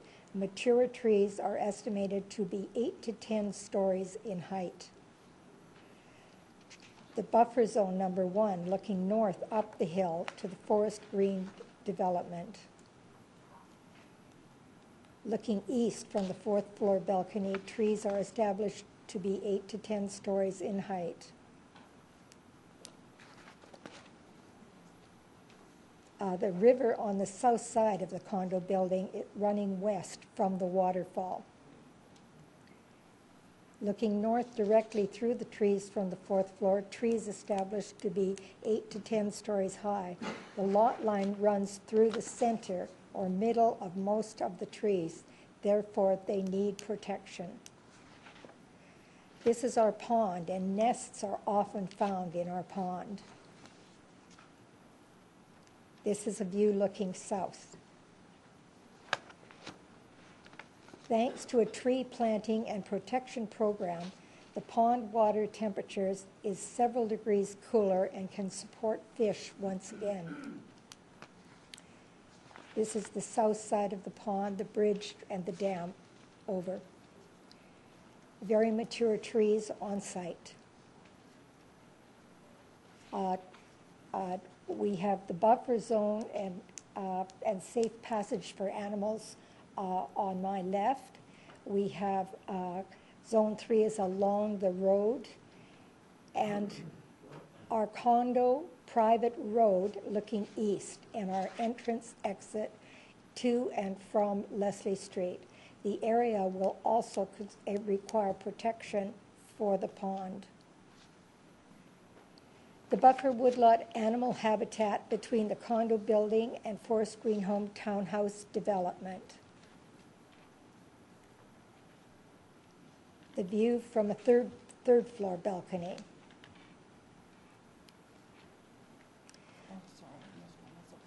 Condo suites also overlook the west parking lot, which is surrounded by the forested area and abuts Forest Green homes to the north. Okay. And that's a view of our beautiful home. Great, thank you very much. Thank you. Now, I, uh, Is it Mr. Hutchinson that's next? So- Yeah, well, I'm, I'm just trying to follow this. I, I know that there's some examples of the woodlot wildlife, uh, that's there, but there's no indication as to who the next speaker is until we get to Mr. Hutchinson. Uh, is there- Okay, great, all right, thank you. This must be Debbie Hutchinson then. Hi, I'm Debbie Hutchinson, and I reside at 900 Bogart Mill Trail, Unit 123, and I'm on the ground floor. Um, My husband and I are kind of uh, tree huggers, and we uh, enjoy our uh, animal life, and we enjoy our trees. Out here on some of these pictures, we're going to go back and forth. We have pileated um, woodpeckers. They're 16 to 19 inches high. Some people have never seen anything that big. We have red-tailed hawks, beavers, foxes, groundhogs, raccoons, finches, red and yellow types, wild turkeys, doves, red-winged blackbirds, kingfishers. We have three blue herons. We have owls. We have blue jays, cardinals, deer. I saw three in one day the stag, the doe, and a young deer. Oh, sorry. We have bass in that pond. We have frogs. We have rabbits. We have butterflies. We have ducks. We have skunks. We have perch. We have a mink. Well, a number of minks. Weasels. Squirrels. We have three opossums we saw on the side of the hill. Salamanders. Hummingbirds. Rob swears he saw a coyote at the end. Um, he saw the eyes glowing one day when he and it was crossing to the pond to have a drink. And uh, Tennessee warblers. But this is our little gem. The snapping turtle is at, at this point in time under the special concern category under the Endangered Species Act of 2007 and under the special concern category under Species at Risk Act, SARA. It is a specially protected reptile under the Ontario Fish and Wildlife Conservation Acts. The habitat of this species is further protected by the provincial policy statement under the Planning Act. This turtle is our largest freshwater and terrestrial turtle. Turtles can live to be 150 years old, but only uh, 20 to 50 in captivity. Uh, some have appraised her at around 80 years old, but we're not sure. She's found, they're found most often in shallow waters, hiding under soft mud and leaf litter. They're threatened by hunting, road mortality, and habitat loss. The snapping turtle is in decline in Ontario. They, uh, they sexually mature at about 15 to 20 years of age. They typically have uh, quite a number of eggs, but the estimates are that in 7 to 20 in 10,000 eggs that are laid will survive to adulthood. Um, part of that is because once she lays those eggs, and a number of people have watched her lay the eggs over the years, the little ones, when they hatch around in September, they tend to go along the roadway and then they go into this wood lot that comes on the east end of our building. And apparently they wander around for a week or two, they get their bearings, and then they come back over to the pond. Um, I don't know how they do it in other areas, but apparently, um, from the people I've been talking to, this is quite um, a regular occurrence. During the summer, many turtles cross roads in search of mates, foods, nest sites, and such, and they become, uh, that's when usually they die, and especially the little ones, uh, because they move especially so slow. The eggs in the nest are um, around urban and ag- agricultural areas are subject to predators such as raccoons and striped skunks. The hatchlings, on the whole, can survive for about 30 days in, in what they term anoxic water, which is the absence of oxygen. The adults, on the other hand, can survive 125 days in the same water. So we will be monitoring the pond as the construction goes along to make sure that there's not, not too much runoff that could affect her and a lot of the other animals that are at the pond. Thank you. Thank you. And, uh, next speaker then is Mr. Don Hutchinson.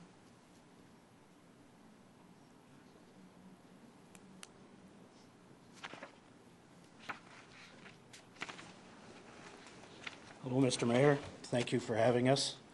Um, my name is Don Hutchinson. I live at 900 Bogart Mill Trail, apartment 123. Um, I live on the ground floor of the building looking north, uh, basically up the hill where the uh, Forest Green Homes are uh, going to develop the property. I'm here to talk about uh, the historic Elliott property or Bogart uh, building. Uh, I am a, a contractor. I'm a member of the Canadian Association of Heritage Professionals. I'm a member of the Association of Preservation Technologists. I'm also a member of the Ontario Architectural Conservancy of Ontario. I'm a member of the Ontario General Contractors Association. I'm a member of the Toronto Contractors Association, as well as being involved in uh, some uh, other uh, conservation groups in the area. Uh, I've worked in the construction industry, basically in restoration, for 41 years. Uh, I've been uh, involved with several restorations of, of, some of the Toronto's of Toronto's most historical buildings, and uh, I have uh, been involved with the the moving, physical moving of the Thornhill Paint Store in Thornhill, the Markham Train Museum in uh, train station in Markham, and the Caledon Town Hall um, in Caledon. as well as the uh, Sharon Temple in Sharon, where we raised the building. As you know, I probably know, it's an all-wooden structure, um, very delicate. We managed to raise it, put a, a new foundation under it, tie it all together, and put it back down again. And if anybody's seen the Sharon Temple, it's all glass. So it's a very fragile building. So if it's done properly, it can be lifted if necessary. And buildings like that can be lifted as necessary. So this is a building of the, uh, the Elliott, uh, Elliott property farmhouse. Um, I noticed on Friday on my way home from work that it now looks a little bit different from this. Um, I'm not quite sure who it's responsible. I think it's uh, Forest Green, and I thank them. Um, I just wish they could have done it a little sooner, but it's now well groomed. And I think if you drive by that property as of Friday, you will see the, the, the grounds are cut back, the trees are cut back, and um, it's, it's a good way to help preserve this building. I, I only had hoped that it had been done sooner.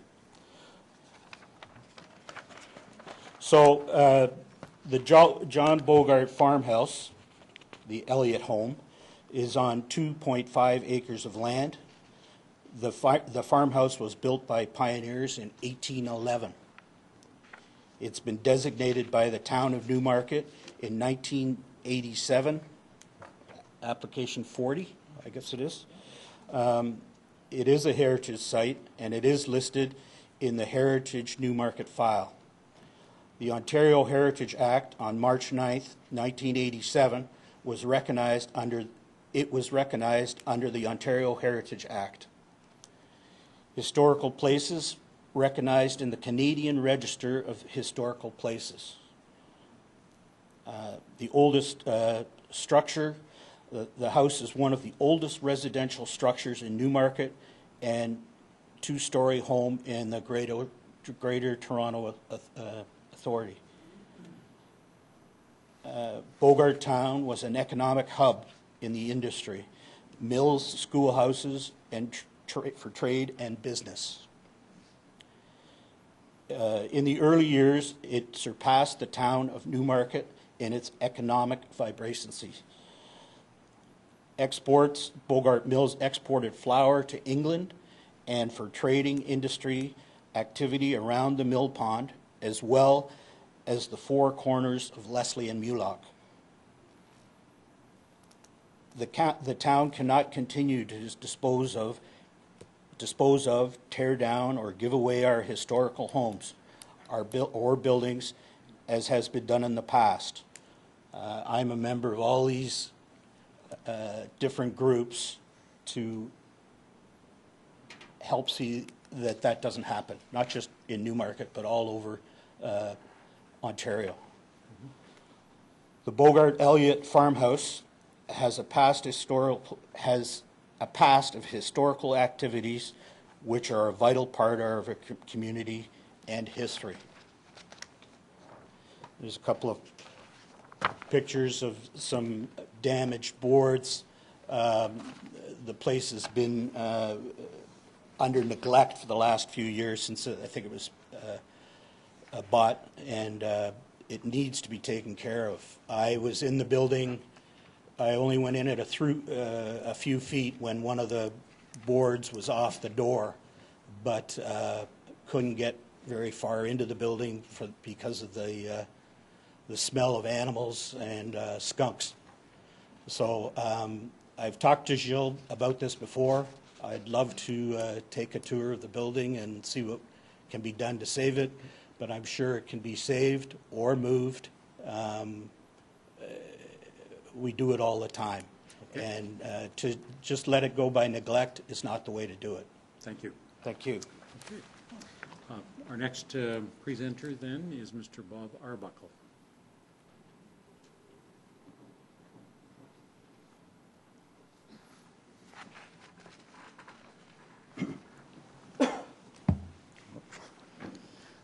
My name is uh, Bob Arbuckle. I reside at 423 900 Bogart Mill Trail, and I'm retired from the Ontario Ministry of Transportation.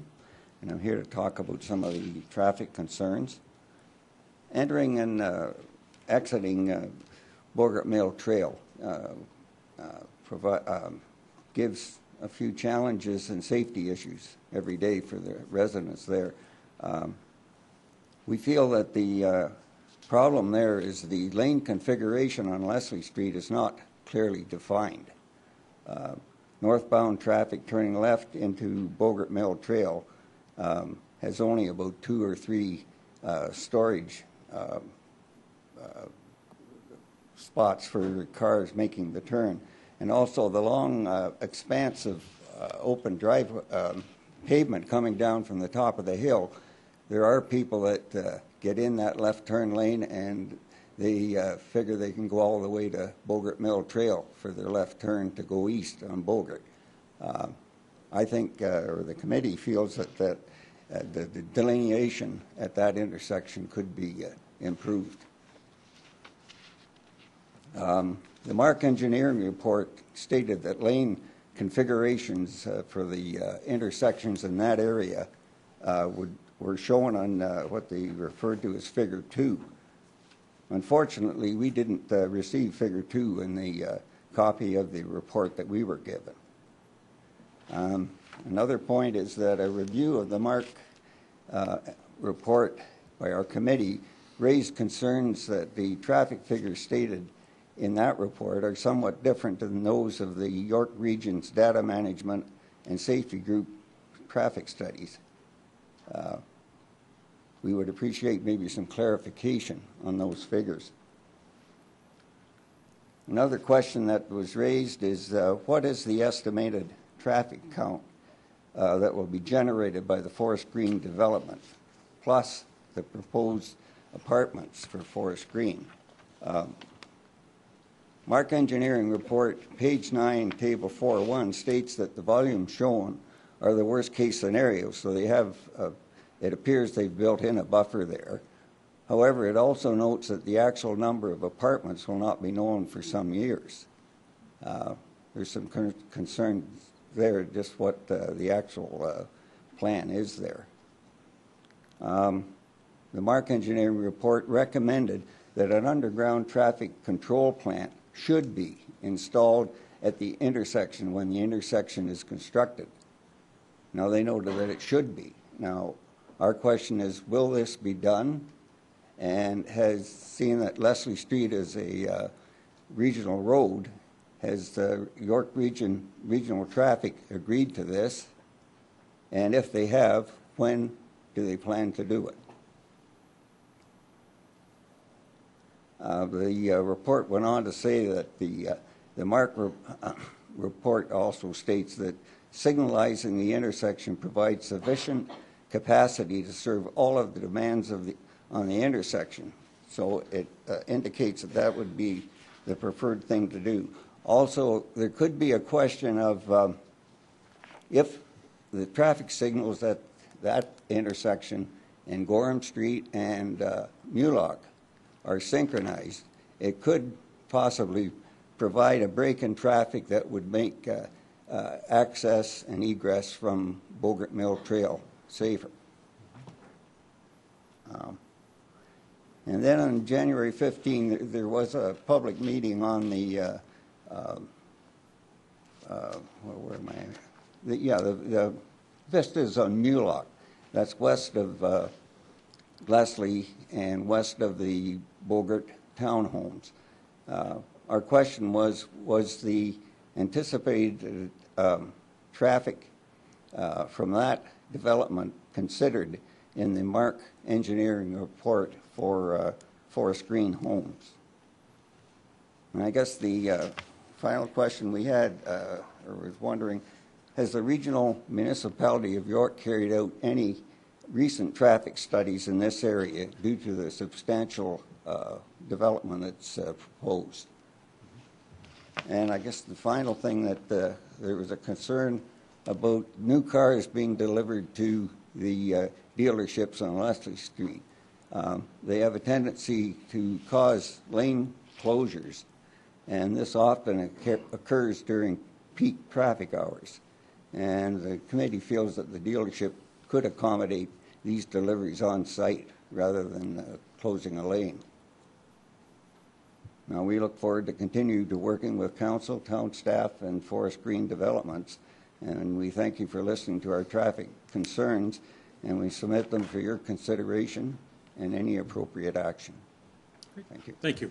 And I see also here there's a summary of uh, uh, questions uh, uh, that uh, we need to be addressing when we bring the report back from, from staff as well. Yes, Mr. So- Mayor, we'd appreciate that, so we'll just leave them for your review and comments. Thank you. Thank you. Um, And is this all the deputations we have then from on For Bogart this- Trail? Okay, for for this our group? Okay, yes, good. Well, I'd like to compliment you on a very well-developed uh, approach and a well-coordinated approach. Every one of you stayed within the five minutes. You must have practiced this, so you've done a great job. Uh, I would ask now that, uh, is there anyone else that would like to uh, speak to the application? Okay, if you could come forward, please. We'll start on the, and I hate pointing, but uh, if you could come down, sir, and give us your address, your name and address, and let us know about uh, your concerns. That's the mic? Okay, we permit, it, as I said, we That's permit the up to mic. five minutes. Yeah, five minutes. My name is John Parkin. I live in Unit 308 of 900 Bogart Mill Trail. Where's the microphone? That one? Yeah. Hi, are we on? Um, I have just a couple of questions, and the first one is, um, Bogart Mill Trail and Bogart Pond is the best-kept secret in Newmarket, and is this council sworn to secrecy that they won't tell anybody else about this place? Question one for that. Question two is um, um, a comment that I had made to um, Gilles some time ago, and it is a concern to me. As Don mentioned, um, they may uh, inquire about moving the Bogart House, um, and the question is, where would it go? Um, and the second question is uh, something I had mentioned to Gilles that I think needs to really be well addressed is in between the house and the garage. You can now see that, that they cleared the bush. There's an abandoned well. And last year, when Gilles made a presentation to uh, our condo, I told him about this, and they rapidly dumped a couple of tons of sand on top of the well. That's not closing an abandoned well.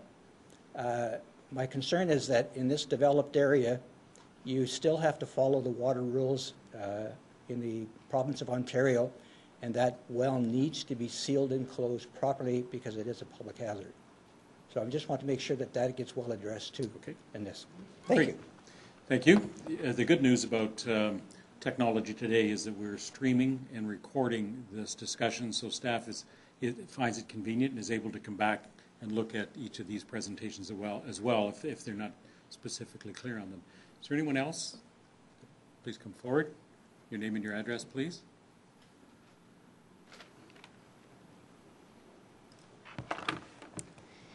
Good evening. My name is Joyce Reese. I'm a resident at 975 on Bogart Circle. That is one of the townhouses that is on the south side of the pond. Um, I have two matters that I would just like to talk about this evening very briefly. The first does echo what we've already heard from our neighbors on the other side of the pond, and that is that we want assurance that there will be proper control of the runoff during construction so that we don't end up with more mud and silt entering the pond. And so we want to ensure that controls are in place during construction. And we would like a commitment that should, for some reason, there be damage to the pond, that that will, corrective action will be taken at the expense of the builder on afterwards if there is damage to the pond itself. Um, and the second point that I would just like to mention is that we would like uh, to have, in the design phase, some consideration given to the privacy of the pond area. Um, we would, to avoid pedestrian traffic coming through the private lands that is around the pond and the forest area that is owned by the condominium corporations. That that could be done in the des- design stage by possibly having some kind of fencing more than just a chain link fence fence so we don't find people walking through our property across the pond and through the pathway that leads over to the plaza or to the high school um, perhaps signage that does indicate that it is private property south of there so that people aren't encouraged to walk through And uh, perhaps there may be some consideration given to a pathway that would go from the uh, west side of the new development that will take them through to the um, Vince's Plaza and the high school so that they can get access to there. Because we all know people aren't all going to walk all the way around Leslie and Mulock to get to that plaza. So perhaps some design consideration could be given to that. Okay. Okay, you. thank you very much. Thank you. Anyone else wishes to come forward to speak?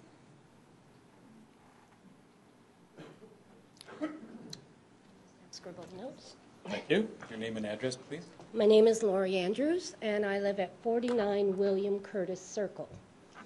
William Curtis Circle is the street that is most impacted by this development, in that the back of our houses, back onto what it was the cemetery lands, which is no longer going to be the cemetery lands. I bought my house six years ago specifically because it backed onto open space, cemetery lands. I expected some neighbors, but I figured they were going to be quiet neighbors. and now I find out there are 91 townhouses going back there. I don't know if uh, the council members realize it, but William Curtis Circle is approximately six to eight feet below the lands they're developing. It's a berm that comes down and slopes into the end of our fences. Our back fences are owned by the town, so they're chain link. And so what we have is a development going on right behind our house with nothing to mitigate the noise, the dirt, uh, the disruption that it's going to cause to us. Um, it, the point of my buying my house was, was just to have, it's 35 years, it's zoned for a cemetery, and all of a sudden now it's not. Um, I don't want to know what the developer proposes to do to mitigate the disruption to the people that are immediately backing onto this development. We're not like Bogart Pond where we have buffer zones, where we have trees. We have nothing. It's a meadow with a berm that comes eight, six to eight feet down to our backyard and some chain link fences. So every morning it's hello construction crew. The other concern that I have is how far back are they planning to start from this berm? Are they going to put a buffer along? Are they going to do landscaping?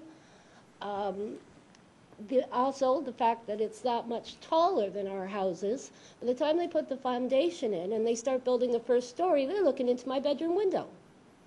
I want to know what, what are they planning on doing? Are they going to put some acoustical along there if they're going to put a road in?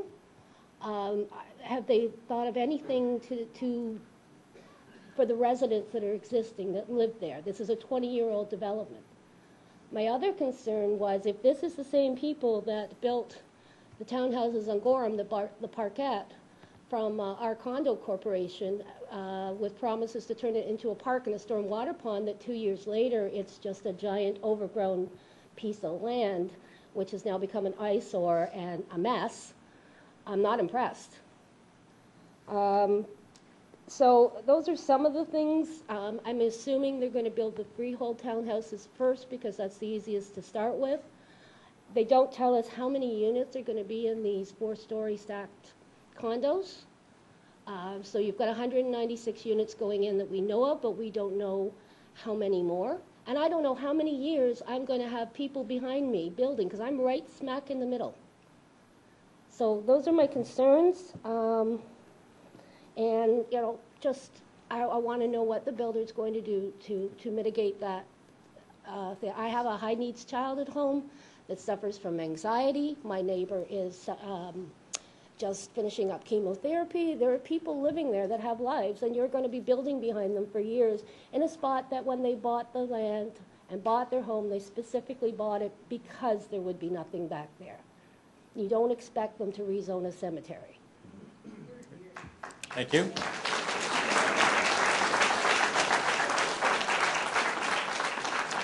Yes, sir, please come forward. Name and address, please.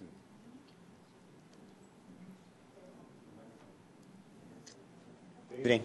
Uh, my name is Eric Benatti. I'm, I live in uh, Doak Lane, uh, the Highgate community, directly to the north of the proposed development.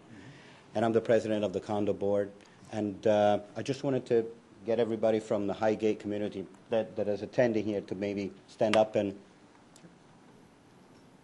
thank you. Thank you. And we just have a short presentation. Uh, This is Rob. Great. Yeah, Go ahead. So, and we permit up to five minutes. Do you, do you have any overheads or anything like that, or? No, no Okay, all right, That'll okay, take go ahead then. Five or six minutes, Mr. Mayor.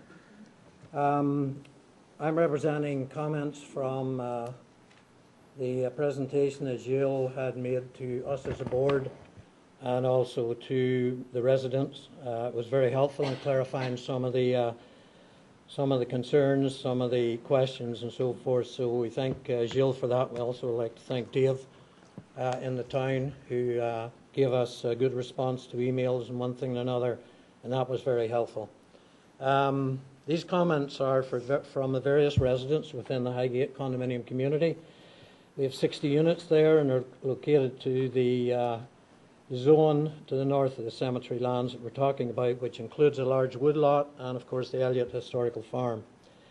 We have four issues that um, we want to deal with here.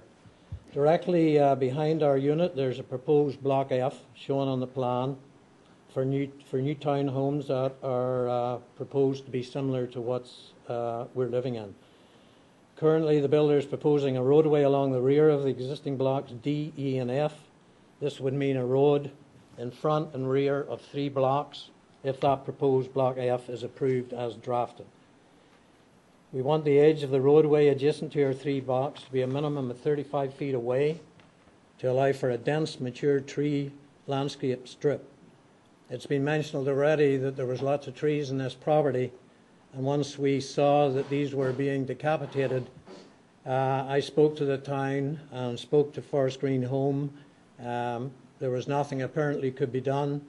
Uh, they weren't um, good trees, but there was an opportunity there to plant some of those trees along the back of our our uh, south boundary and have it there and growing now to protect when the other uh, construction starts. There's also a six-foot variance between the proposed um, emergency exit and the rear property lines on those three blocks, which means it'll need some form of a retaining wall there, not a very steep berm that really is hard to maintain and uh, is not good for, uh, for protection. We need something in that plan to help eliminate street lights, car lights, and noise. Second point, Doak Lane is a private road owned and maintained by our condominium corporation, number 1212, including the bridge over Bogart Creek. And we have the joint ownership of the, the other part that takes us up to Gorham Street between Mernessas and Amica. And uh, it cannot be used for other than our community traffic. And the possibility of emergency entrance exit to the land to the south should be discussed with us. And if it proceeds, it has to be a gated access. We do not want any increase of vehicles, motorcycles, bikes, etc. on our private road as a shortcut to Gorham Street. Our internal road allowance width is not designed for subdivision two-way traffic, and neither are there narrow sidewalks. We also do not want increased liability for accidents, which would increase our insurance premiums. We have noted there are two other emergency exit sites available, one from McKinnon and one from William Curtis Circles, that should be considered. I emphasize that Doak Lane is a private rural allowance owned and maintained by our corporation, number 1212. The woodlot must remain intact, and there's been lots of uh, communication to you in uh, that regard already. To be used as a walking and a pathway for neighbourhood families to walk to lands to the southwest, including the schools, and it's currently been used for years by the kids uh, to the west and north to go over to the high schools. As the town has lost a very large piece of land in the Glenway subdivision, which was counted in the official plan as open space, we feel it's very important that the woodlot be preserved and organised for public use and recreation. We are a family town, as can be seen by the use of Newmarket Common, Fairy Lake lands, and currently within the town of Newmarket we have a lack of mature woodlots.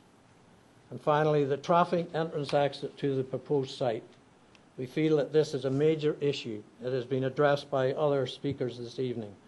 With only one entrance exit off Leslie Street, currently it's very difficult at times to exit off Crowder and Bogart condominium development to the south.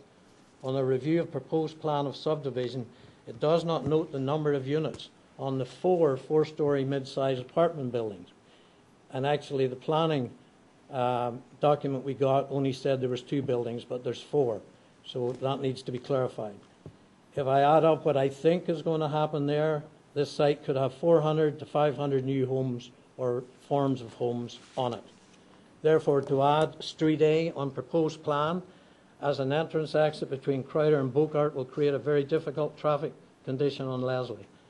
Leslie traffic counts are increasing, and as lands to south and north, and we've all seen the new housing to the north and also down towards uh, St John's Side Road, on Leslie will fill up with new, as it fills up with new families, it will get worse.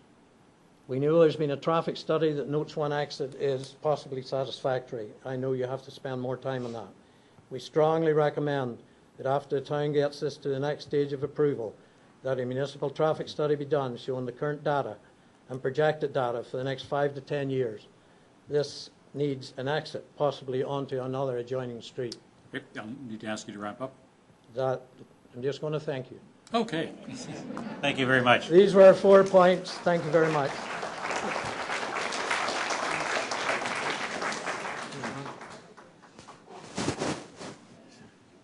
Need to apologize, the, uh, the cooling in the, in the building hasn't been working very well. Uh, and Hopefully the fans are providing some relief, but uh, appreciate your patience in terms of the, there you go. Yes, sir, your name and your address, please. Thank you, Mr. Mayor. Uh, My name is uh, David Puttick, and uh, my wife Judith and I reside at 913 Southwind Court. We're on the west side of the, um, the the subject lands. Um, I would uh, like to, uh, to thank uh, Dave Ruggles from the Planning Department for his assistance earlier in, um, as we were looking at the initial proposed development. And I'd also like to thank Gilles Bisnaire for, from Forest Green Homes for meeting with us uh, on site. Um, we're, we're generally supportive of the uh, use of the lands for uh, townhomes and mid-rise um, apartments. We have some specific um, questions regarding uh, a very small forested area that is immediately to the north of that mature woodlot that uh, everyone has been uh, talking so eloquently about tonight. Um, uh, the, the woodlot, the, this forested area is um, shown on figure three in the uh, ecolo- ecological land classification in the environmental impact study that was uh, prepared by Dillon in 2012. I wonder if, I hate to interrupt you, uh, but everybody's making references to the plan. Chris Ann, could we get the plan up on the, thing? and then you could move your, your mouse around and, Yeah, and even, even and everybody just, would have a. a- even just that map that uh, was up there earlier. Hmm? Sure. I don't know what slide Mr. number it uh, is. Bisnaire's, uh,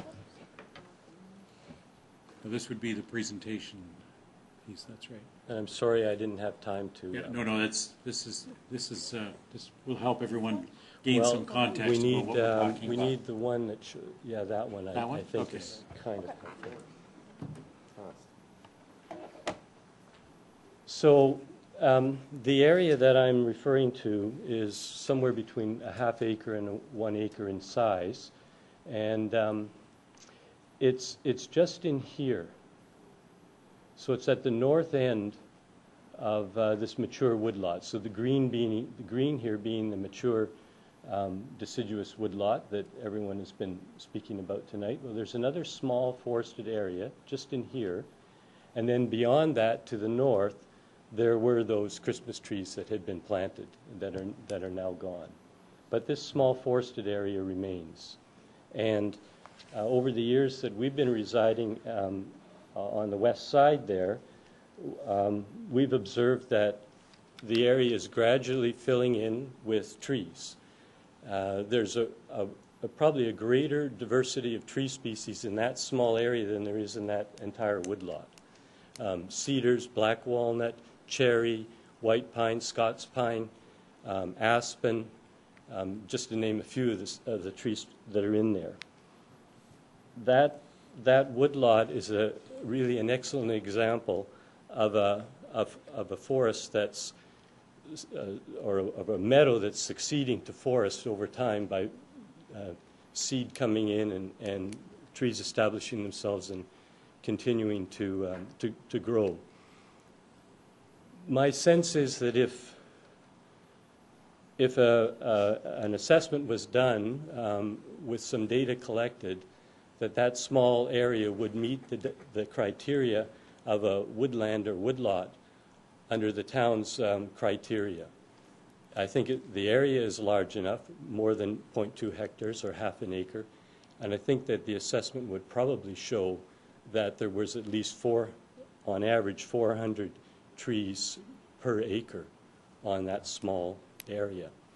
And so what I'm asking is that uh, there be some uh, further study on that small portion of the, of the property to see whether, in fact, it does meet the definition of a woodlot uh, according to the town's criteria, and if so, um, could that small area be, be protected? Thank you. Who do I give this to? If you could leave that with the, Thank you. with the clerk.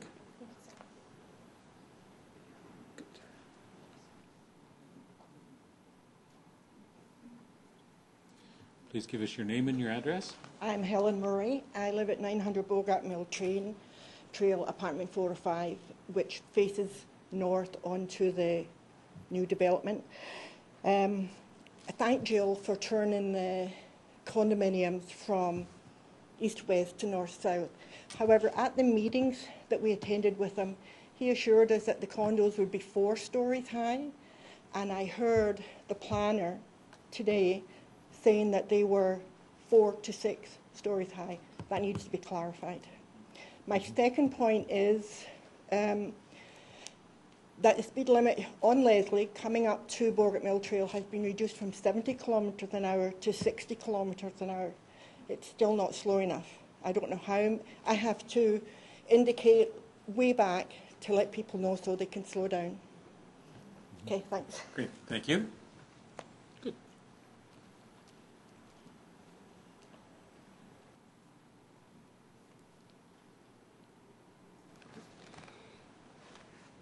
Name and Mr. address, please. Uh, Brian Faherty, uh, Mr. Mayor, uh, members of council, staff, uh, thank you for listening to me. I just got one uh, couple of one point to make. I'm actually a resident of Riddell Court, or a, an owner at Riddell Court, which is the uh, the fourth condominium. Uh, Mr. Rogers said there was three condominiums bordering the property. There's actually four condominium developments. I'm also the property manager for uh, Doak Lane, and ironically, I'm also, I also own an engineering and planning firm here in Newmarket, so I'm usually on the other side of the table. Uh, I, I, concur with uh, Robert Hume uh, from Doak Lane on, on, on, all his points, especially the emergency access. access. That's, that's one that concerns me greatly, and uh, I, I, trust uh, staff will make sure in their approvals that uh, that, that emergency exit is, is gate, gated and locked with the lock only, uh, the, the, combination or the key for that lock only available to emergency services to ensure that it really is an emergency only access. Uh, I just wanted to touch on the on the woodlot thing again. I don't want to belabor this point. Everybody's talked about the woodlot. I don't want to belabor it, but there's another there's another aspect to it that I'd like to address. Uh, my uh, my understanding from our discussions with Shields was that the woodlot area would be deeded to the town for a dollar. So it's not the developer that has the responsibility for the future for this woodlot. It's uh, everyone here. So it really is crucial that we preserve that woodlot. And I'll draw your attention to your, your own staff uh, staff's review of the submission from Forest Green Homes. Uh, in their preliminary review, they recommended that only environmental protection open space be maintained. That's the existing zoning be maintained and it not be changed into open space one whereby it could be used for a number of community-related rec- community and recreational facilities. So it, it's really within, it's in the, in the hands of the town to, to make sure that that stays as an environmentally protect, as an environmental protection zone. Uh, we've little enough uh, open space in this residentially saturated town. Uh, and we want a community that's more than just a, a, a northern GTA subdivision. Uh, I've, I've lived in this town for 35 years, and I, I can say on, on good authority, there's a lot of young people are leaving this town not just because the house prices are expensive, but because they just feel that Newmarket is way too busy. And you only have to go up into Georgina and ask around and see how many ex, uh, how many people that were born and raised in Newmarket no longer live in Newmarket. So please protect our future, and one way to do it uh, effectively would be to protect that woodlot in perpetuity. Thank you very much. Thank you. We have uh,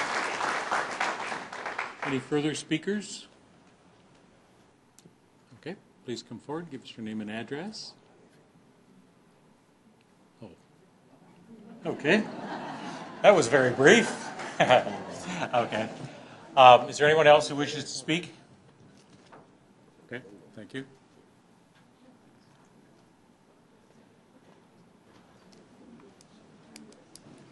Hello, uh, my name is Deborah Castellane. I live at 77 William Curtis Circle.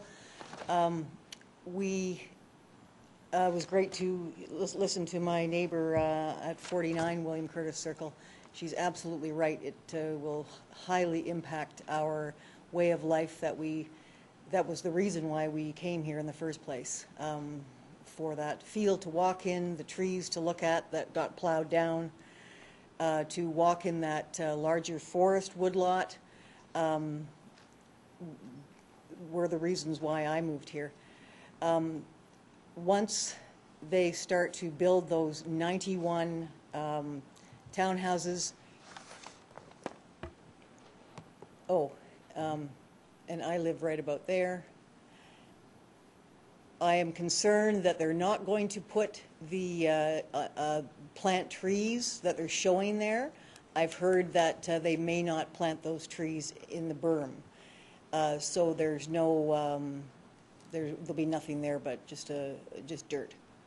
Um, and I guess wild grass if, if it, if they let, let it grow. Um, and that's a concern. And, and it's also a concern that this, this, this, this woodlot here, um, could this, was I correct in understanding that this could be also purchased by Forest Green?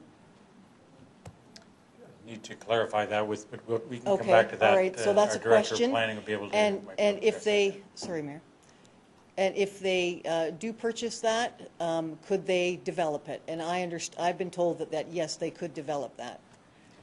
Um, Those are things that can be clarified. Yes, please. Thank you. Absolutely, thank you. Thank you. Anyone else?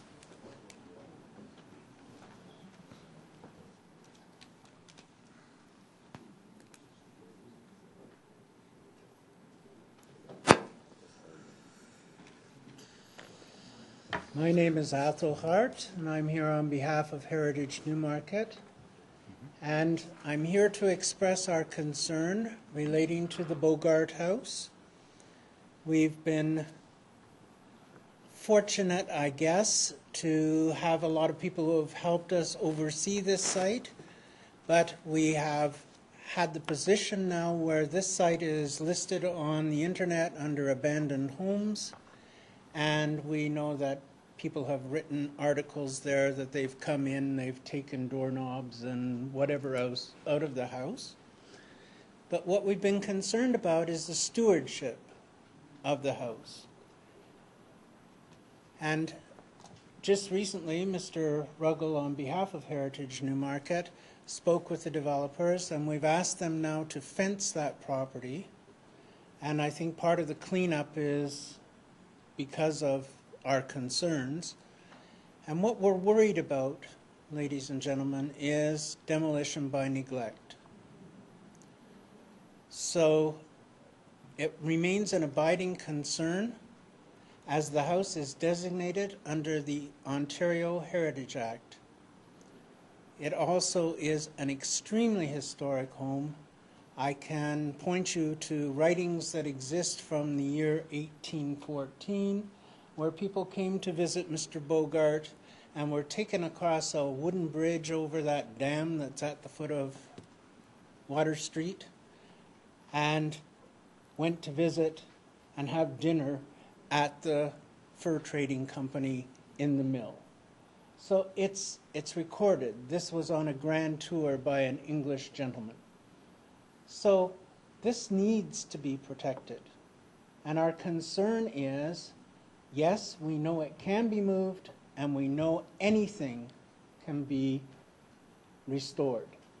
We would like to know that there's no further need for restoration than there is today, that what's there must be stabilized.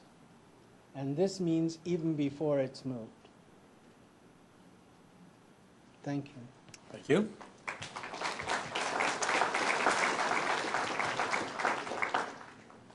Any, uh? Yep. Yep, yep, yep. Thank you. Absolutely, yep. Okay, perhaps there are some questions, Mr. Rogers, here that uh, have been raised that you're, you might be in a position to respond to now. Other questions we might be able to uh, come back to, and as I said, with the, today's technology, all of the conversations are recorded, and we're able to uh, make sure that uh, all of these questions will be addressed. And there may be some questions from members of council as well. Uh, But uh, the important things, we were here to hear from the public, and I appreciate everyone coming out to let us know what your views are. Mr. Rogers, some of the, we heard a couple of questions around the environmental uh, areas, the, uh, the um, the abandoned well, uh, and the relocation of the Bogart House. Uh, Some of those areas, the berm to the north, and uh, the emergency access and- and uh, controls on the emergency access. Maybe some of those you might be able to address. If not, we'll- we'll ensure that staff uh, uh, circles around back with you. Are there some areas that you can address? I can start with someone. Okay, go ahead. Uh, Good evening, Mr. Mayor, uh, members of council, and uh, residents. Uh, My name is Gilles Bisnaire. I'm with Forest Green Homes. Many of you know me. Uh, I've been around um, in and out of your homes for the last three years. Uh, Some of these questions, uh, the first one is, has to do with the well. Uh, We did get it done, uh, certified and buried uh, properly uh, through a certified uh, uh, company that uh, decommissions wells, and I can, I can get that, that certification for you Okay, if thank need you. be. Uh, We talked about a lot of things today. Um, I'm I'm quite happy with a lot of the things that we did talk about. Um, Not sure where to begin. I think the first is uh, perhaps to apologize for the trees um, and and the lack of communication on my part. Um, I thought I was being transparent and open.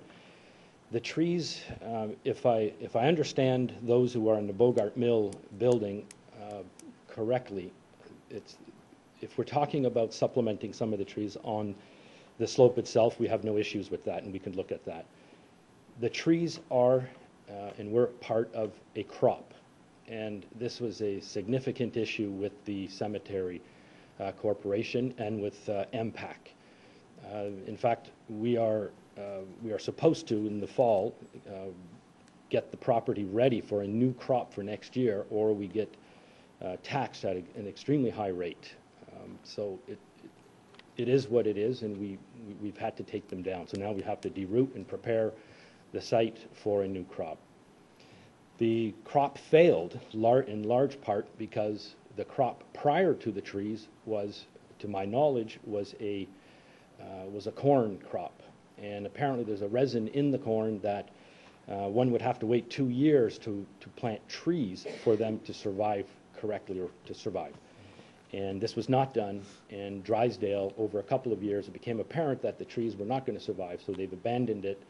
And I mean, it is what it is now. So, um, you know, it, if, if there are trees moving forward during the site plan process or in the boulevards that need to be planted, I'm sure the planning department's going to, um, is going to make sure that that's going to happen, and we're not averse to that. May- Maybe before we get off of the tree conversation, I know that someone had, in the presentation, had indicated that the same tree, the tree bylaw requires the same trees to be replaced, and I'm wondering if Mr. Nethery could just clarify that, and, and while we're doing so, maybe we could clarify, uh, are those trees captured in the tree replacement bylaw? So, Mr. Nethery? Uh, Through you, Mr. Mayor, the, um, uh, hopefully you can hear me, Uh, the uh, tree compensation policy uh, would permit um, the same replacement of the, of the cumulative size of a tree. So if you've got an eight-inch wide trunk of a tree at four feet above grade, um, and you weren't able to get a, such a specimen to replace it somewhere else, then it might allow you to plant two four-inch uh, um, caliper trees, uh, or some, some combination of that, so that the mass is the same, but it, uh, it might be indeed more trees than the one that was taken out. Thank you. Mr. Bisnaire? can- But to you clarify, uh, Mr. Mayor, and I think uh, the, the, the question was not answered, would the, the trees, the Christmas trees qualify in the bylaw? And my answer to that would be no, because it was a crop. I think what we're referring to is perhaps the trees that are on the Elliott property, um, those that will have to be removed to put in the, the, uh, the townhouses. Outside of that, um, there are trees, as pointed out by, um, I forget the gentleman's name, and I apologize, uh, where he identified the thicket, and that would be in the, uh, this area over here. There are trees that would, perhaps, if that were to go forward, that would qualify for this, uh, Placement, okay. you know, the bylaw. Uh, We talked about the area in this, uh, over in, in this area here. The reason, um, I mean, let me back up a bit here. The reason why the road is why the road is there is, is quite simply because the region of York will not allow access onto this property anywhere else on the Leslie frontage. We were, uh, we were told that we had to line up with the FAF exit uh, on the other side of the, the other side of the street. And what you have here is the, you know, you start with the grades down at this area here, and we are confined, or we were, uh, you know, we, we, we had to follow the, a, a standard of a four percent rise in the road. Um, and also a, a radius that we had to, we had to, uh, we had to follow. And if you do those two things, if you, if you follow those two engineering uh, specifications, it, that is the road. It, it doesn't do anything else. It follows that radius and it follows that slope and it ends up somewhere up in this area here. So once you get to that point, you go left or right and it's only conducive then to put the townhouses up along this area here. But what we've tried to do on the north side of that is you do see trees. If we can plant the trees, we will plant the trees. Now, somebody made mention, or somebody talked about there being a berm. There's no berm there. It will be graded such that it will match the property line and, and do what it has to do. Uh, But what you do have there, and what we are proposing, is a setback of 10 meters, which is not typical for a, a, a townhouse site. You would typically get seven and a half meters.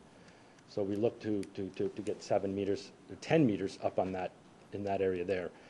Over on this border here, on the west side of that property, um, because of how the road comes around and because of how the park is situated, down in this area here, we're at nine meters, which is a little tighter, but where we did have the opportunity to move the road over some, that is, to take it off the boundary, we end up with boundaries of 14 meters up in the top end. So we've tried to accommodate um, and to look at uh, that situation uh, with respect to that, that townhouse. Um, If I may, up here, um, and yes, correctly, there is an interface between this proposed condominium and the Highgate private condominium, and yes, it is for emergency purposes only. The roadway doesn't necessarily have to be a roadway. It can be a hard surface with planting on it, for example. And, and the design of that, um, I'm absolutely open to meeting with the residents and coming up with a proper design that, you know, that will give us that proper interface between the two. Uh, we want folks to, to, to, to not look at that as an access through, in or out of that, uh, but rather something that uh, maybe they don't even know that it's a, an emergency access. But rest assured, the, the fire department would, and EMS would, and, and police hopefully would know that. Um, so um, if we can assist in that design, then, you know, absolutely. That may also be a, uh, a- a site plan issue, but we can talk about that. Uh, We talked about, um, down in this area here, back down to the Elliott property, uh, there was, there was question, or there was, there was um, this thing about the, the- the turtles, if I, if I may. Because we are not allowed to access or, or access or egress this property here directly onto Leslie Street, it necessarily has to be connected to the new road. And what that does is that the new road is much higher. So it, unfortunately, it, ra- or fortunately, it raises the grade for this particular property, thereby creating a natural sort of wall down in this area here, which would discourage that sort of interaction that one person had brought up, uh, the privacy of those folks entering private property to the south or having access to the, to the pond. And of course, uh, through fencing or through landscape measures, we could uh, create a boundary here, and of course, we are looking to preserve this woodlot. Um, You know, and that, that would be one of the benefits is for, is for the, um, is for the turtles. Um, uh, What else did we talk about that was? uh, The Elliott home, um, again, uh, if we are now, well, we are now. um, We have cleaned the property. Um, It's only this week, and we apologize for that. There's a fence going in tomorrow. Um, We are going to be better stewards of it. I'm going to be asking the gentleman who was here from the Historical Society to be more involved. I will get his name, his number. Uh, The, the- the hope is to, to to have the house, which is located somewhere in this location here, and to relocate it down in this area here. And as you may or may not know, but when you restore these old homes, it's always a question of what is the land, you know, who's going to maintain it?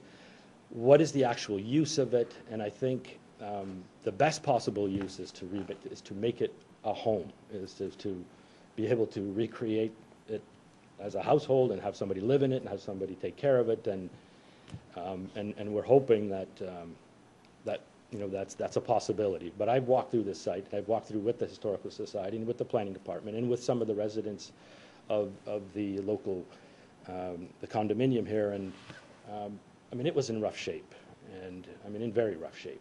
Uh, The basement, uh, you look at the, the- the beams, and, and, uh, you know, if we're, I'm not an expert, they are experts, and if, if they're telling us that it can be done, then we're gonna do our darndest to make it happen. Um, And of course, we are, we are talking about, uh, I guess, the salt box uh, part of the house, the front part of the house, and not necessarily the back of the house.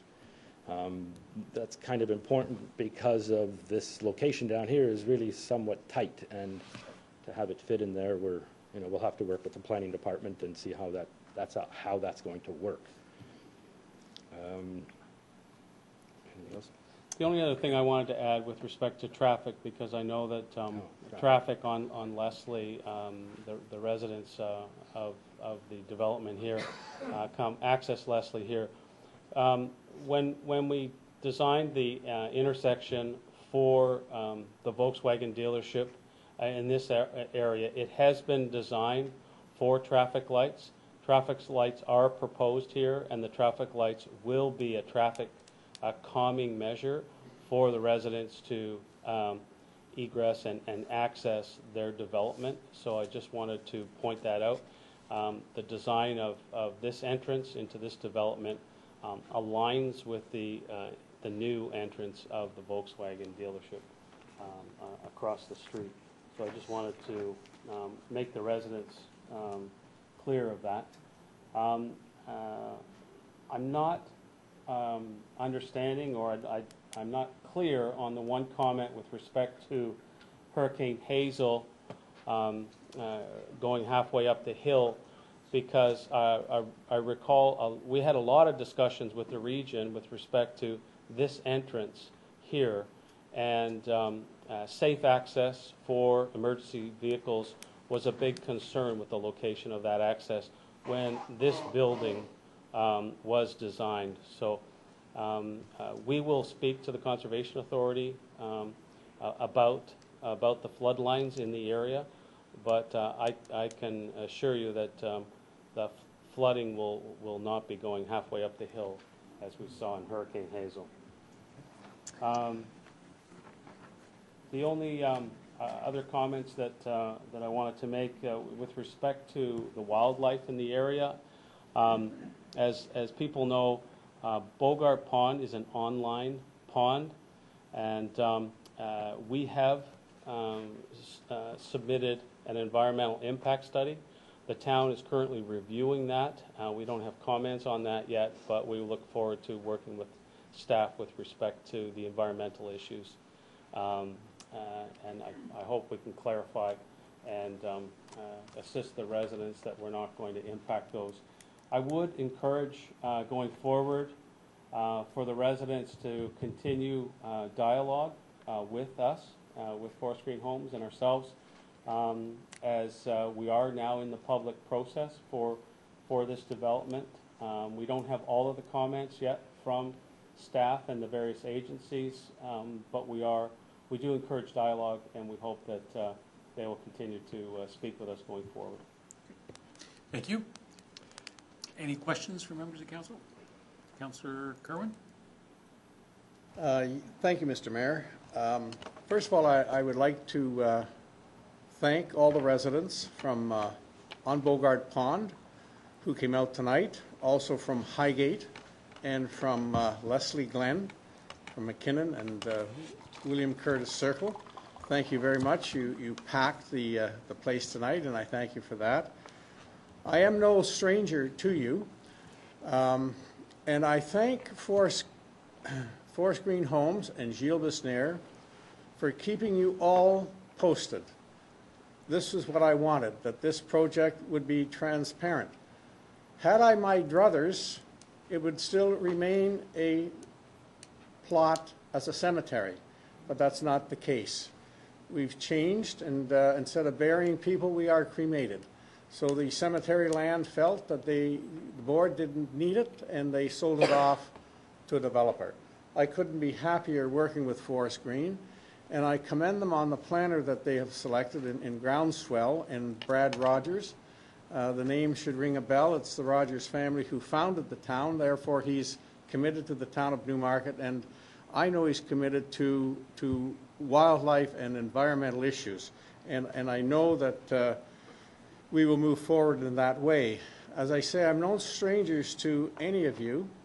Uh, I've worked with, uh, with uh, Bruce Wilkinson, or Ted Wilkinson, and Harold Davidson, and Peter Vanderplug, and uh, other members of uh, that area for over 10 years with the Bogart Creek Restoration Committee. And we have planted literally hundreds of trees on your property. Uh, I am a, an environmentalist and have been recognized as one, and I'll continue to do that. And uh, moving forward, I have gone out to your condominium, and I thank Harold Davidson for uh, recognizing that in his written presentation. I met with Judy Fink at the beginning, and I attended uh, meetings uh, in your condominium. Uh, I've met, had people to my house uh, from the condominium corporation, will continue to do so. So I will endeavor to listen to your concerns, and that's what this meeting was all about tonight. It wasn't for members of council to talk tonight, it was basically to listen, and I think we have listened. And in answer to your questions, I have taken members of council out to that area to have a look at it, so they're familiar with it. And any members of council who want to go out who are not familiar with it, I'm certainly willing and have the time to do that. So, once again, thank you for coming tonight. I've listened. I shall endeavor to uh, enact as many of your concerns as possible, as I have in the past. And uh, I shall continue to work in your area with the rangers and continue to plant as many trees as we can. And literally, over the years, we planted hundreds of trees on that property. And you're quite right that the temperature of the water has dropped and the fish have come back. So thanks again. Thank you. Councillor Twinney? Uh, Thank you, Mr. Mayor. Thank you. Um, I think it's important that I um, uh, publicly disclose tonight that I am actually very familiar with the area. My parents own uh, one of the townhomes that backs onto Bogart Pond, so I am very familiar with the area there, and it it is, it- it's a, it's a hidden gem, and it certainly is a, it's a beautiful s- spot in Newmarket. Um, I do have one question um, regarding the uh, rezoning of the, and maybe through you, Mr. Mayor, to Mr. Rogers, the rezoning of the, um, of the, the woodlot from environmental protection from open space OSEP zone to open space one. Just wondering uh, the reasoning behind doing that and, and why we, you wouldn't want to just leave it as, as the natural woodlot. Uh, We're, we're prepared to look at that. Uh, Your, your planner, Dave Ruggles, pointed that out to us um, uh, when we submitted the application. We're, we're pleased to continue ha- to have dialogue with that. Um, As, as I noted earlier, um, that woodlot uh, today is still owned by Right. the cemetery land. So um, um, that's the, the zone that they wanted on it when we submitted the application. Um, We are hoping that Forest Green will be able to purchase that, and then we can have um, some discussions with council and staff uh, regarding that woodlot going forward. So um, uh, we're, we're hoping we can, can save that woodlot as we've uh, indicated here on the plan. Okay, thank you. Thank you. Any other questions? Mr. Nethery, if you could, uh, just for the benefit of the audience, uh, next steps, reasonable timeframes, and what the options might be. Thanks, Mr. Mayor. Um, We will need to do a follow-up report uh, based on um, the kinds of comments that we received today and providing some analysis on those comments. Um, As the proponent had indicated, there are some comments still outstanding from the agencies, notably the Conservation Authority, the Regional Engineering Department, as well as our own engineering uh, team are still uh, evaluating some of the information. So in terms of when you might expect to see that report back, um, I'm a bit hesitant to give it a, a specific date, but I'm, um, I'd be surprised if it was any sooner than November. And uh, in any event, we can make that known to uh, all and sundry, and it, we can post it on the web. Uh, if folks had left their contact information with Lauren out front, uh, we'll have that information for them as well, and we can blast it that way. Um, ultimately, what will happen is that report will be back before Committee of the Whole with a recommendation to either approve, not approve, or defer. Um, and then council uh, ultimately will make a determination on that. And uh, ultimately, um, there are appeal opportunities available to the public and to the applicant, depending on what the decision was of council. Okay, well, again, thank you very much. Uh, There's certainly uh, good to see the, the interest that you've had. I, again, I want to compliment the audience on their very professional uh, and uh, very well-developed approach uh, in terms of bringing their concerns forward, being able to give everyone an opportunity to be heard uh, as they would like to been heard. So thank you very much for that. I'll entertain a motion to adjourn. Ah, yes. Good catch. Motion to receive all the presentations, Councillor Sponga, Councillor Kerwin. All those in favor? That is carried. Now we can adjourn. Councillor Sponga, Councillor Bisanz. All those in favor? Thank you.